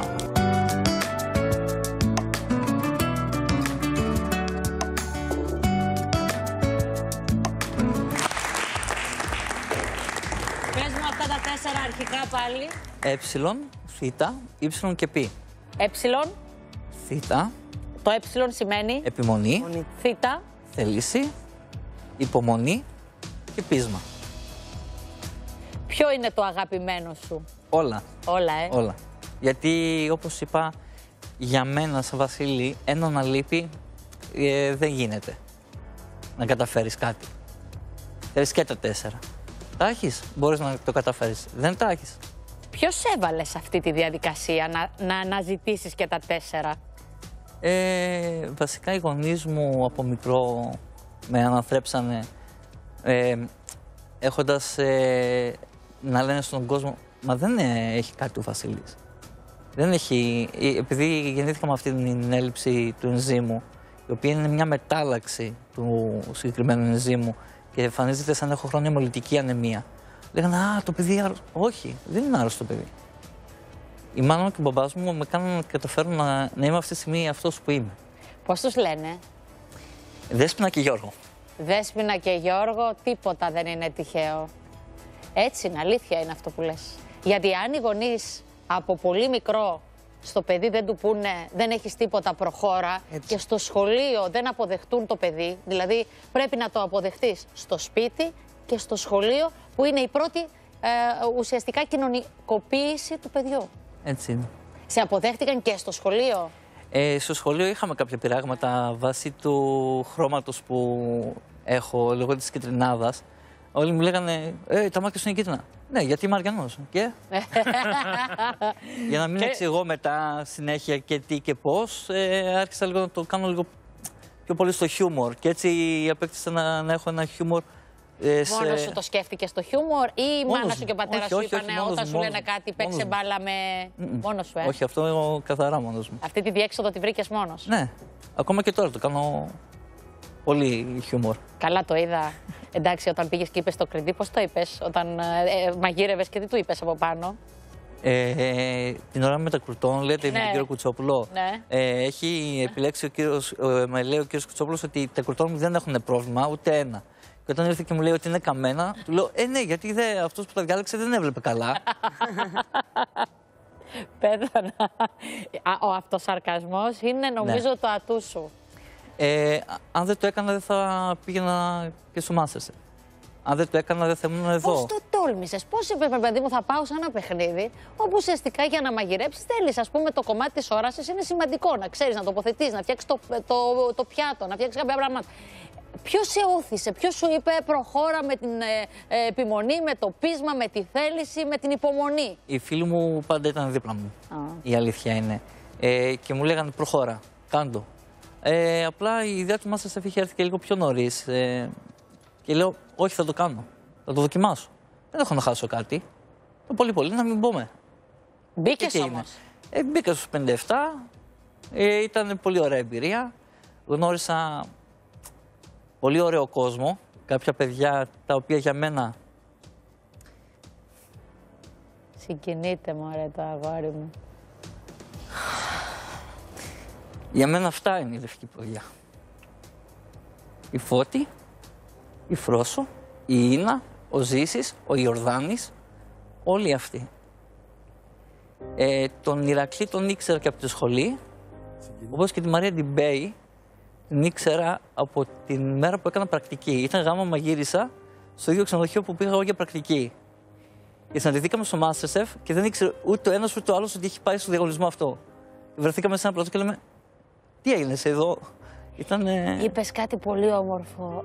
Αυτοί οι συμπαίκτες σου είναι η λευκή ποδιά. Ναι, είναι. Πάντα έτσι. Πάντα πας με το συνάνθρωπο, πάντα πας με το κομμάτι της αλληλεγγύης. Ε, ναι. Ναι. Ε, μ' αρέσει να βοηθάω, γι' αυτό και το 2004 που έβλεπα, ε, ήθελα να πάω θελοντής το 2004 στην Αθήνα. Και κατέβηκα από Θεσσαλονίκη στην Αθήνα και ήμουν στο κομμάτι του baseball, γιατί έπαιζα baseball. Ήμουν εθελοντή το 2004 στην Αθήνα. Πώς την έχασες την όραση τελικά και μετά θέλω, Κατερινάκη, έτσι να κάνουμε έτσι ένα κύκλο κουβέντας. Ε, η όραση, το πρώτο μάτι είπαν ότι χάθηκε από τη μύτη, από το σπάσιμο της μύτης, τα δάχτυλα το οπτικό νεύρο του αριστερού ματιού και έπαθε σιγά σιγά τροφία. Αλλά όταν ανακαλύψαμε το δεύτερο μάτι από ότι χάθηκε λόγω θρομβοφιλίας, έκανε θρόμβωση το μικρό, τα μικρά τροχοειδή του οπτικού νεύρου του δεξιού ματιού.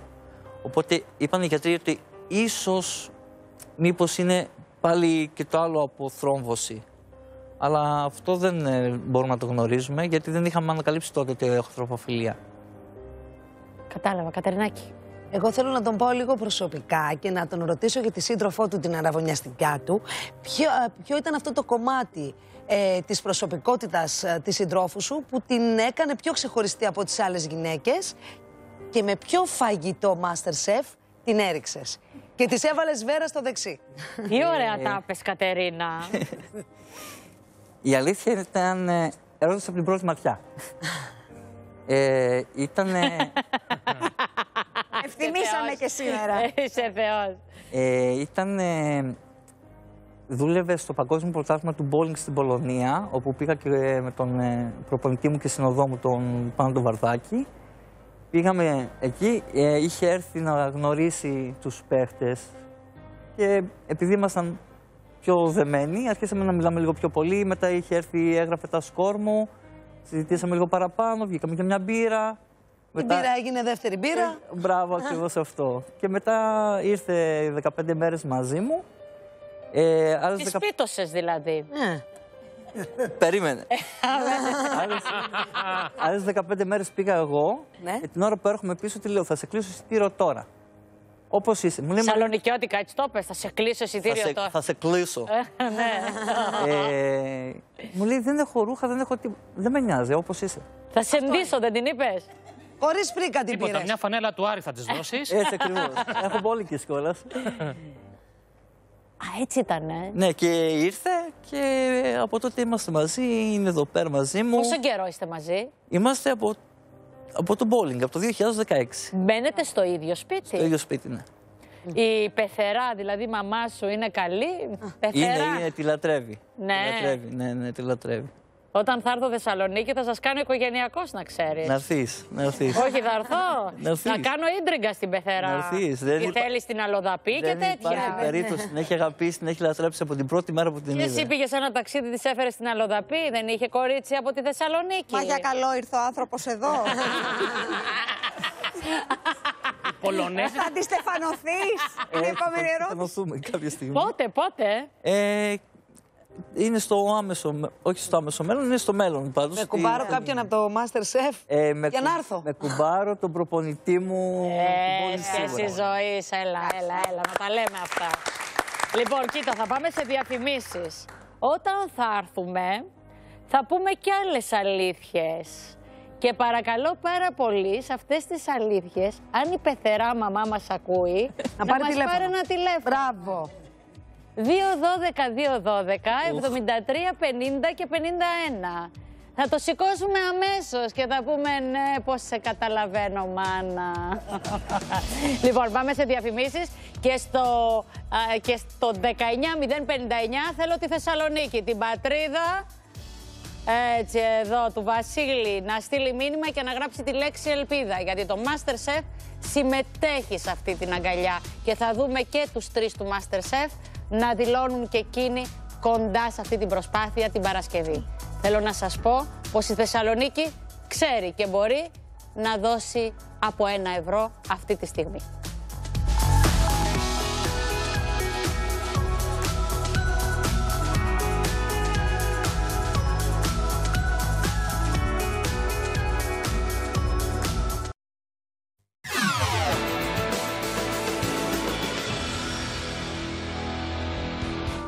Επανερχόμαστε μετά τις διαφημίσεις. Ο Βασίλης είναι εδώ. Κοίταξε τώρα να δεις ε, Βασίλη. Η αλήθεια είναι πως θέλουμε πολλά να σου πούμε και να δείξουμε. Βέβαια με συγκρατεί το γεγονός ότι είσαι ευσυγκίνητος. Ο Σπύρος Σιγούρος στις διαφημίσεις διέπραξε ένα έγκλημα. Θα το πω έτσι απλά. Η μαμά δεν μας έπαιρνε. Λέμε δεν γίνεται κάποιον από το σόι πρέπει να βρούμε. Τι κάναμε λοιπόν εμείς, φροντίσαμε να βρούμε το τηλέφωνο. Όχι εγώ προσωπικώς, Κάναμε για να μην το ρεπορτάζ. χρεωθώ πάνω μου. Έτσι κι αλλιώς, έτσι δεν είναι, οι συνεργάτες πρέπει να είναι το, σε πρώτο ρόλο. Τηλεφώνησες στην οικία σου. Το οικία μου; σήκωσε, ναι, το σήκωσε ο μπαμπάς. Ο Μπόμπας. Ο κύριος Γιώργος. Κύριε Γιώργο μου. Έλα. Έλα, καλημέρα σας. Κύριε Γιώργο μου.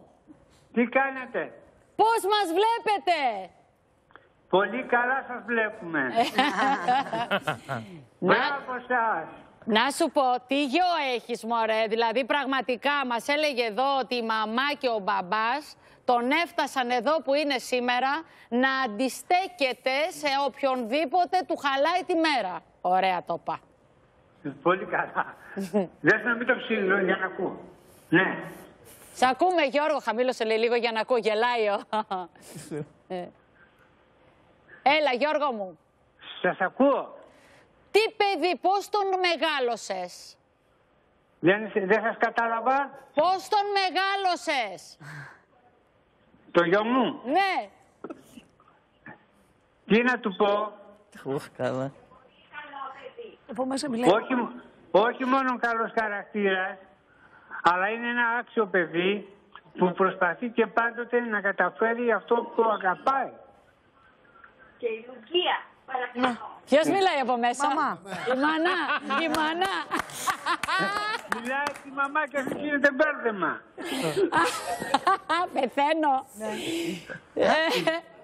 Ε, Βασίλη, μην γελάς. Βασίλη, σε βλέπω. ε, εσύ πες, εγώ δεν σε βλέπω. Αυτός με βλέπει. Ε, αυτό.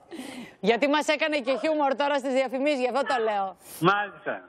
Να σου πω λίγο Γιώργο, η μάνα, Ναι. η μάνα μέσα που φωνασκεί είναι στην κουζίνα; Μαγειρεύει. Η μητέρα του; Ναι. Ναι. Τι σου λέει, τι σου λέει; Κόβεται η γραμμή, δεν σας ακούω καλά. Εντάξει. Τώρα σας ακούω. Να σου πω, τι, τι λέει. Βασίλη, μην γελάς. Ε, Βασίλη, δεν μη γελάς. Πεθαίνω. Μην ξεκαρδιστεί στα γέλια, για ποιο λόγο; Ε, Γιατί; Ξέρουν αυτοί, ξέρουν αυτοί. Έχουν κωδικούς. λοιπόν, ε, να στείλουμε τα φιλιά σε όλους σας. Έχετε Ναι. υπέροχο παιδί και ο Βασίλης σας αγαπά πολύ. Άξιο, λέει Βα- ο κόσμος. ο Βασίλης πολλά μυστικά είπε δικά μου. Τι κολλάει, τι είπε; Ναι. τι είπες; Η μάνα μιλάει από μέσα. Μιλάει. Λέει, λέει, η μαμά δεν μπορεί να... Έτσι. Ε, Μη. Έλα, θέλει να μιλήσει Θα όμως. την πείτε μια καλημέρα. Έλα, μίλα. Έχει μαμά. Η μαμά δεν Ε, ήθελε. Μίλα, μίλα. Εδώ. Να μιλάω. Ποιον. Μάνα! Κυρία. Μάνα! Ε; Η Ζήνα είμαι, μάνα! Α, α, είσαι η; Ζήνα! Η Ζήνα; Ε, Ναι, η Ζήνα! Η Ζήνα. Ναι! Ναι, εντάξει, βλέπω εγώ τώρα, μην νομίζεις. Πεθαίνω. Για να ξέρουμε, το παλικάρι μας είναι αυτό και το ξέρουμε ε, εξαιρετικά. Δεν βλέπει πολύ καλά καθόλου, αλλά δεν έχει σημασία. Για μας είναι εξαιρετικό. Είναι ένα πολύ καλό παιδί. Καλό παιδί. Και η κοπέλα εξαιρετική. Να τα, γιατί μας την είπε. η Πάρτα, μάνα; την είπε. και όλα. Το είδες; Α, Έτσι, γιατί μας την είπε η μάνα, το είπε. Ε. Σας ευχαριστούμε Ε, πολύ. τι Να σου πω τώρα γελάει τώρα κάνει. Ο άνθρωπος. Αγάπη μου, σας ευχαριστούμε Ε, ναι. πολύ.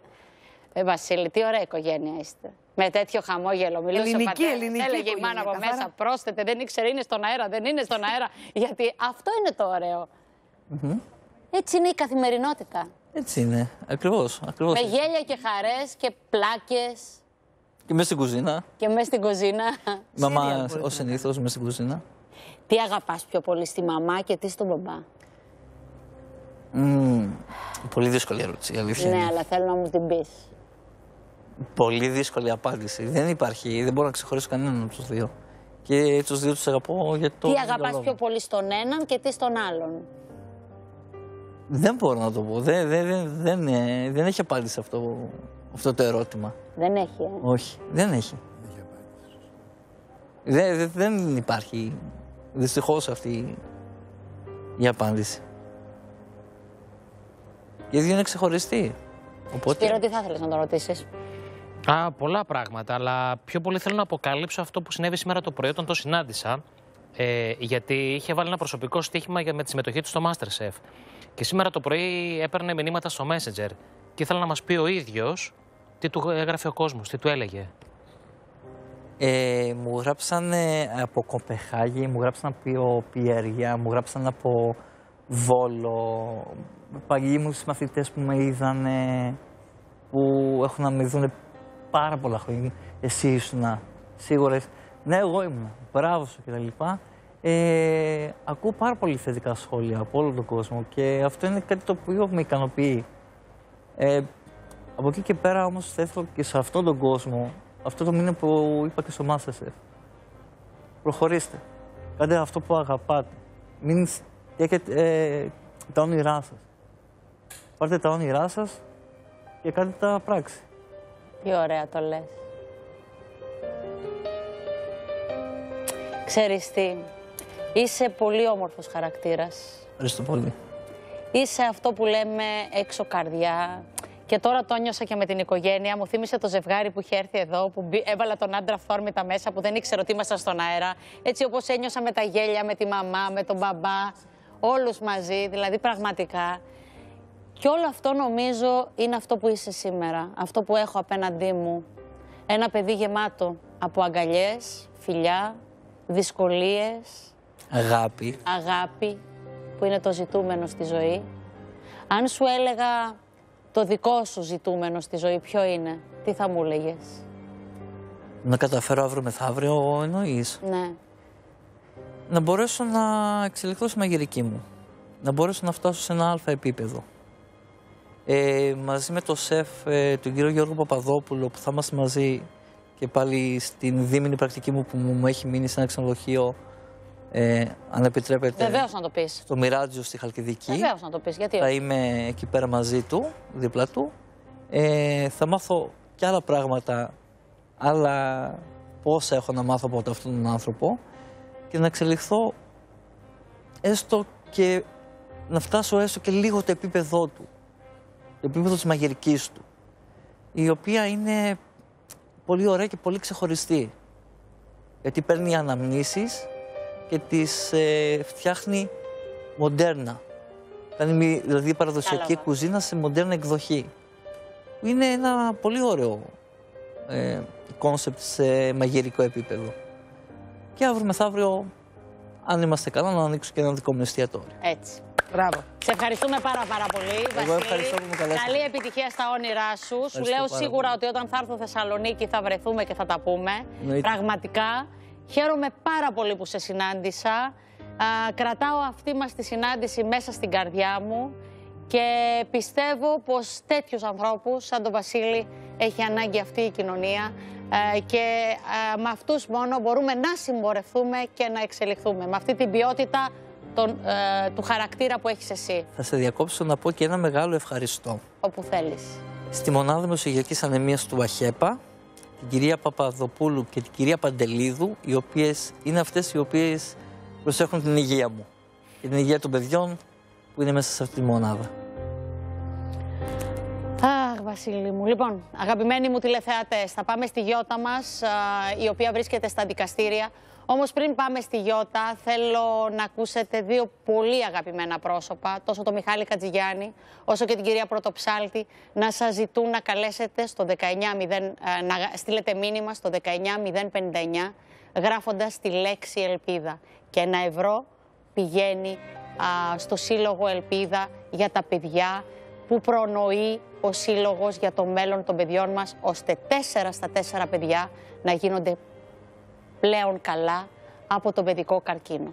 Θέλω να δούμε πώς ακριβώς εκείνοι εκφράζονται και σας καλούν να συμμετέχετε στον αγώνα του Συλλόγου Ελπίδα.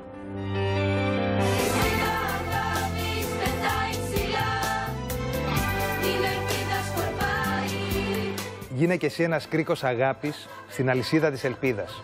Ο τηλεοπτικός μαραθώνιος τιμά τα 30 χρόνια του Συλλόγου που επιτελεί τεράστιο κοινωνικό έργο έχοντας σώσει χιλιάδες παιδικές ζωές. Στείλτε το μήνυμά σας στο 19059 γράφοντας τη λέξη Ελπίδα.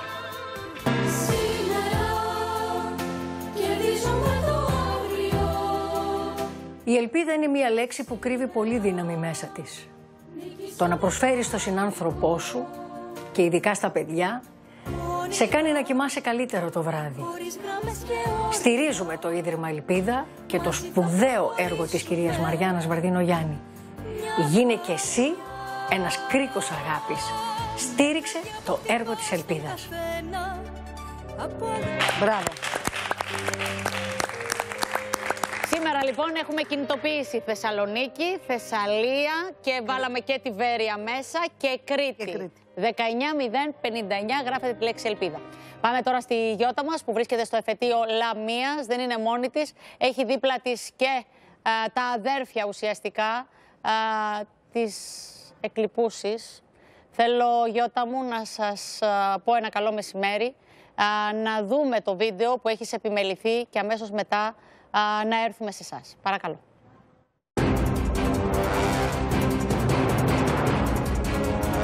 Στην αίθουσα του Μικτόρκο του εφετείου Λαμίας αναβιώνει σήμερα η αποτρόπαια δολοφονία της 32χρονη Ευσταθίας τον Ιούλιο του 2013 με δράστη το κουνιάδο της.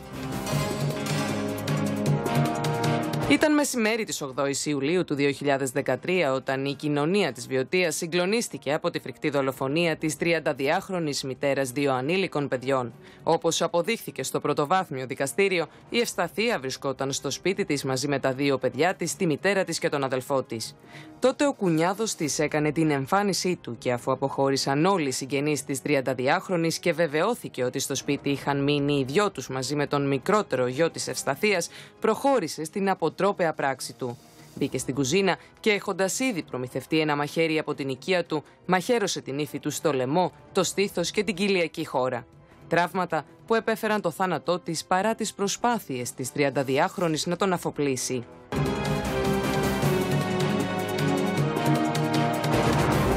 Σύμφωνα με όσα προέκυψαν σε πρώτο βαθμό, αμέσως μετά την πράξη του, ο δράστης έσυρε το σώμα της νύφης του από την κουζίνα του σπιτιού στο διάδρομο και έβγαλε έξω τον μικρό ανιψιό του. Στη συνέχεια, κλείδωσε την πόρτα και άρχισε να αυτοτραυματίζεται με το ίδιο μαχαίρι, μέχρι που έπεσε ανέστητος δίπλα στην κουνιάδα του, έχοντας αφήσει προηγουμένως ένα ιδιόχειρο σημείωμα. Σε πρώτο βαθμό, ο κουνιάδος του θύματος καταδικάστηκε σε ισόβια κάθριξη, χωρίς να έχουν διευκρινιστεί μέχρι σήμερα τα κίνητρά του. Γιώτα μου, ο λόγος σε εσάς. Καλησπέρα Ζήνα από το εφετείο Λαμίας όπου πριν από λίγη ώρα ολοκληρώθηκε η εξέταση των συγγενών του θύματος της Ευσταθίας ε, Χαρατσί, η οποία ακούσατε με πόσο άγριο τρόπο έχασε τη ζωή της, δολοφονήθηκε από τον ε, κουνιάδο της, τον ε, αδελφό του συζύγου της, τον Ιούλιο του 2013. Εξετάστηκαν λοιπόν όλοι οι συγγενείς και του θύματος αλλά και του κατηγορούμενου τα αδέλφια, οι γονείς της Ευσταθίας, οι οποίοι Ζήνα όλοι τους έκαναν ε, λόγο για ένα ερωτικό έγκλημα. Ένα έγκλημα πάθους για έναν άνθρωπο παρεμβατικό, ελεγκτικό, που συνέχεια δημιουργούσε προβλήματα στη ζωή του ζευγαριού, στη ζωή της Ευσταθίας, του συζύγου αλλά και των δύο παιδιών ε, που είχαν αποκτήσει μαζί.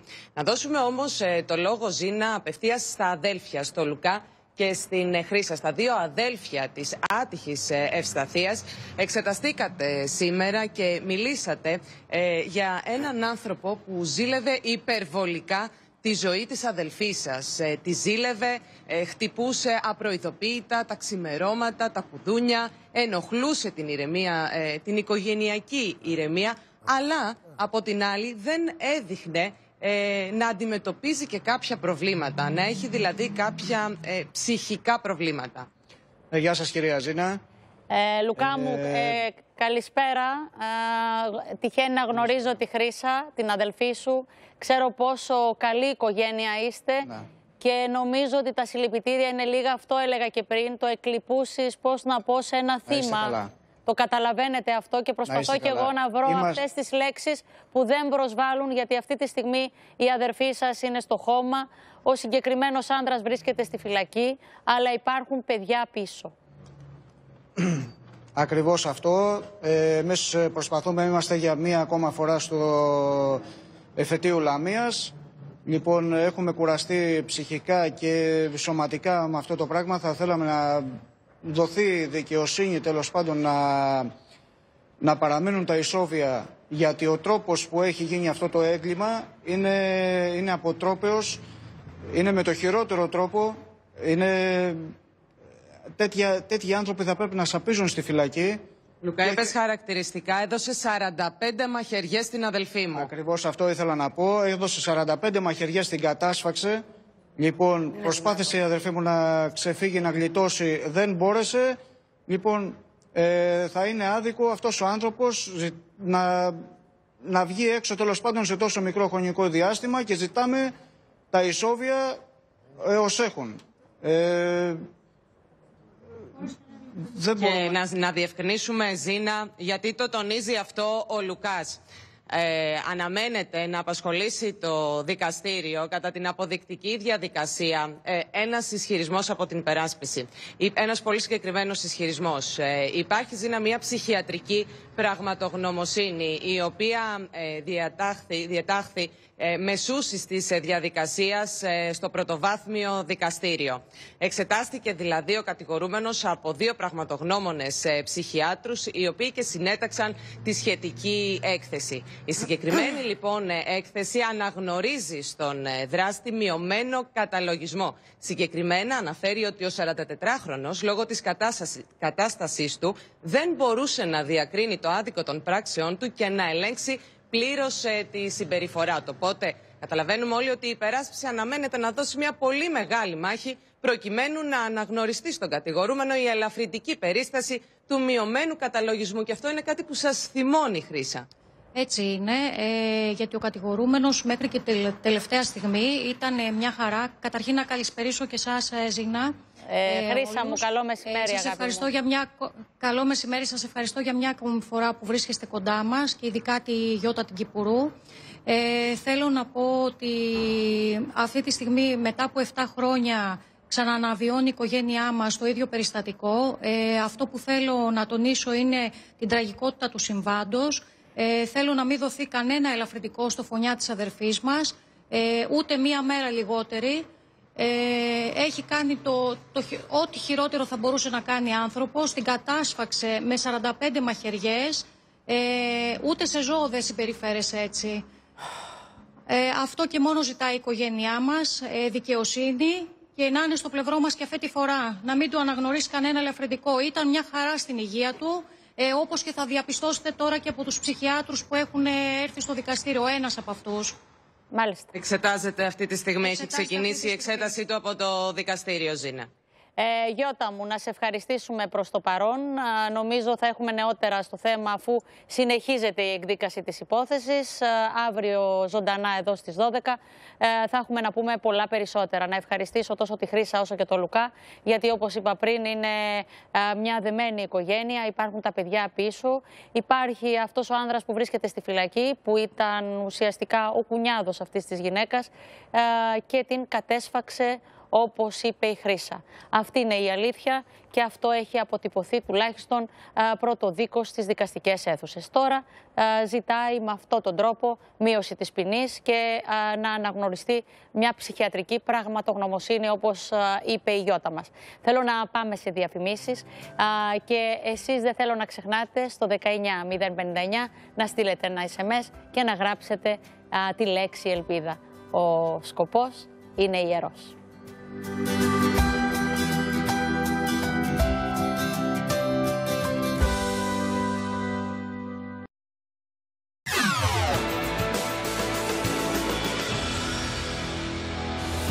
Φτάσαμε στο τέλος της εκπομπής. Είμαστε μια ωραία ατμόσφαιρα και αυτό βγαίνει προς τα έξω. Αύριο στις 12 ακριβώς θα σας ξαναβάλουμε μέσα. Τώρα, διάλειμμα. Γεια σας.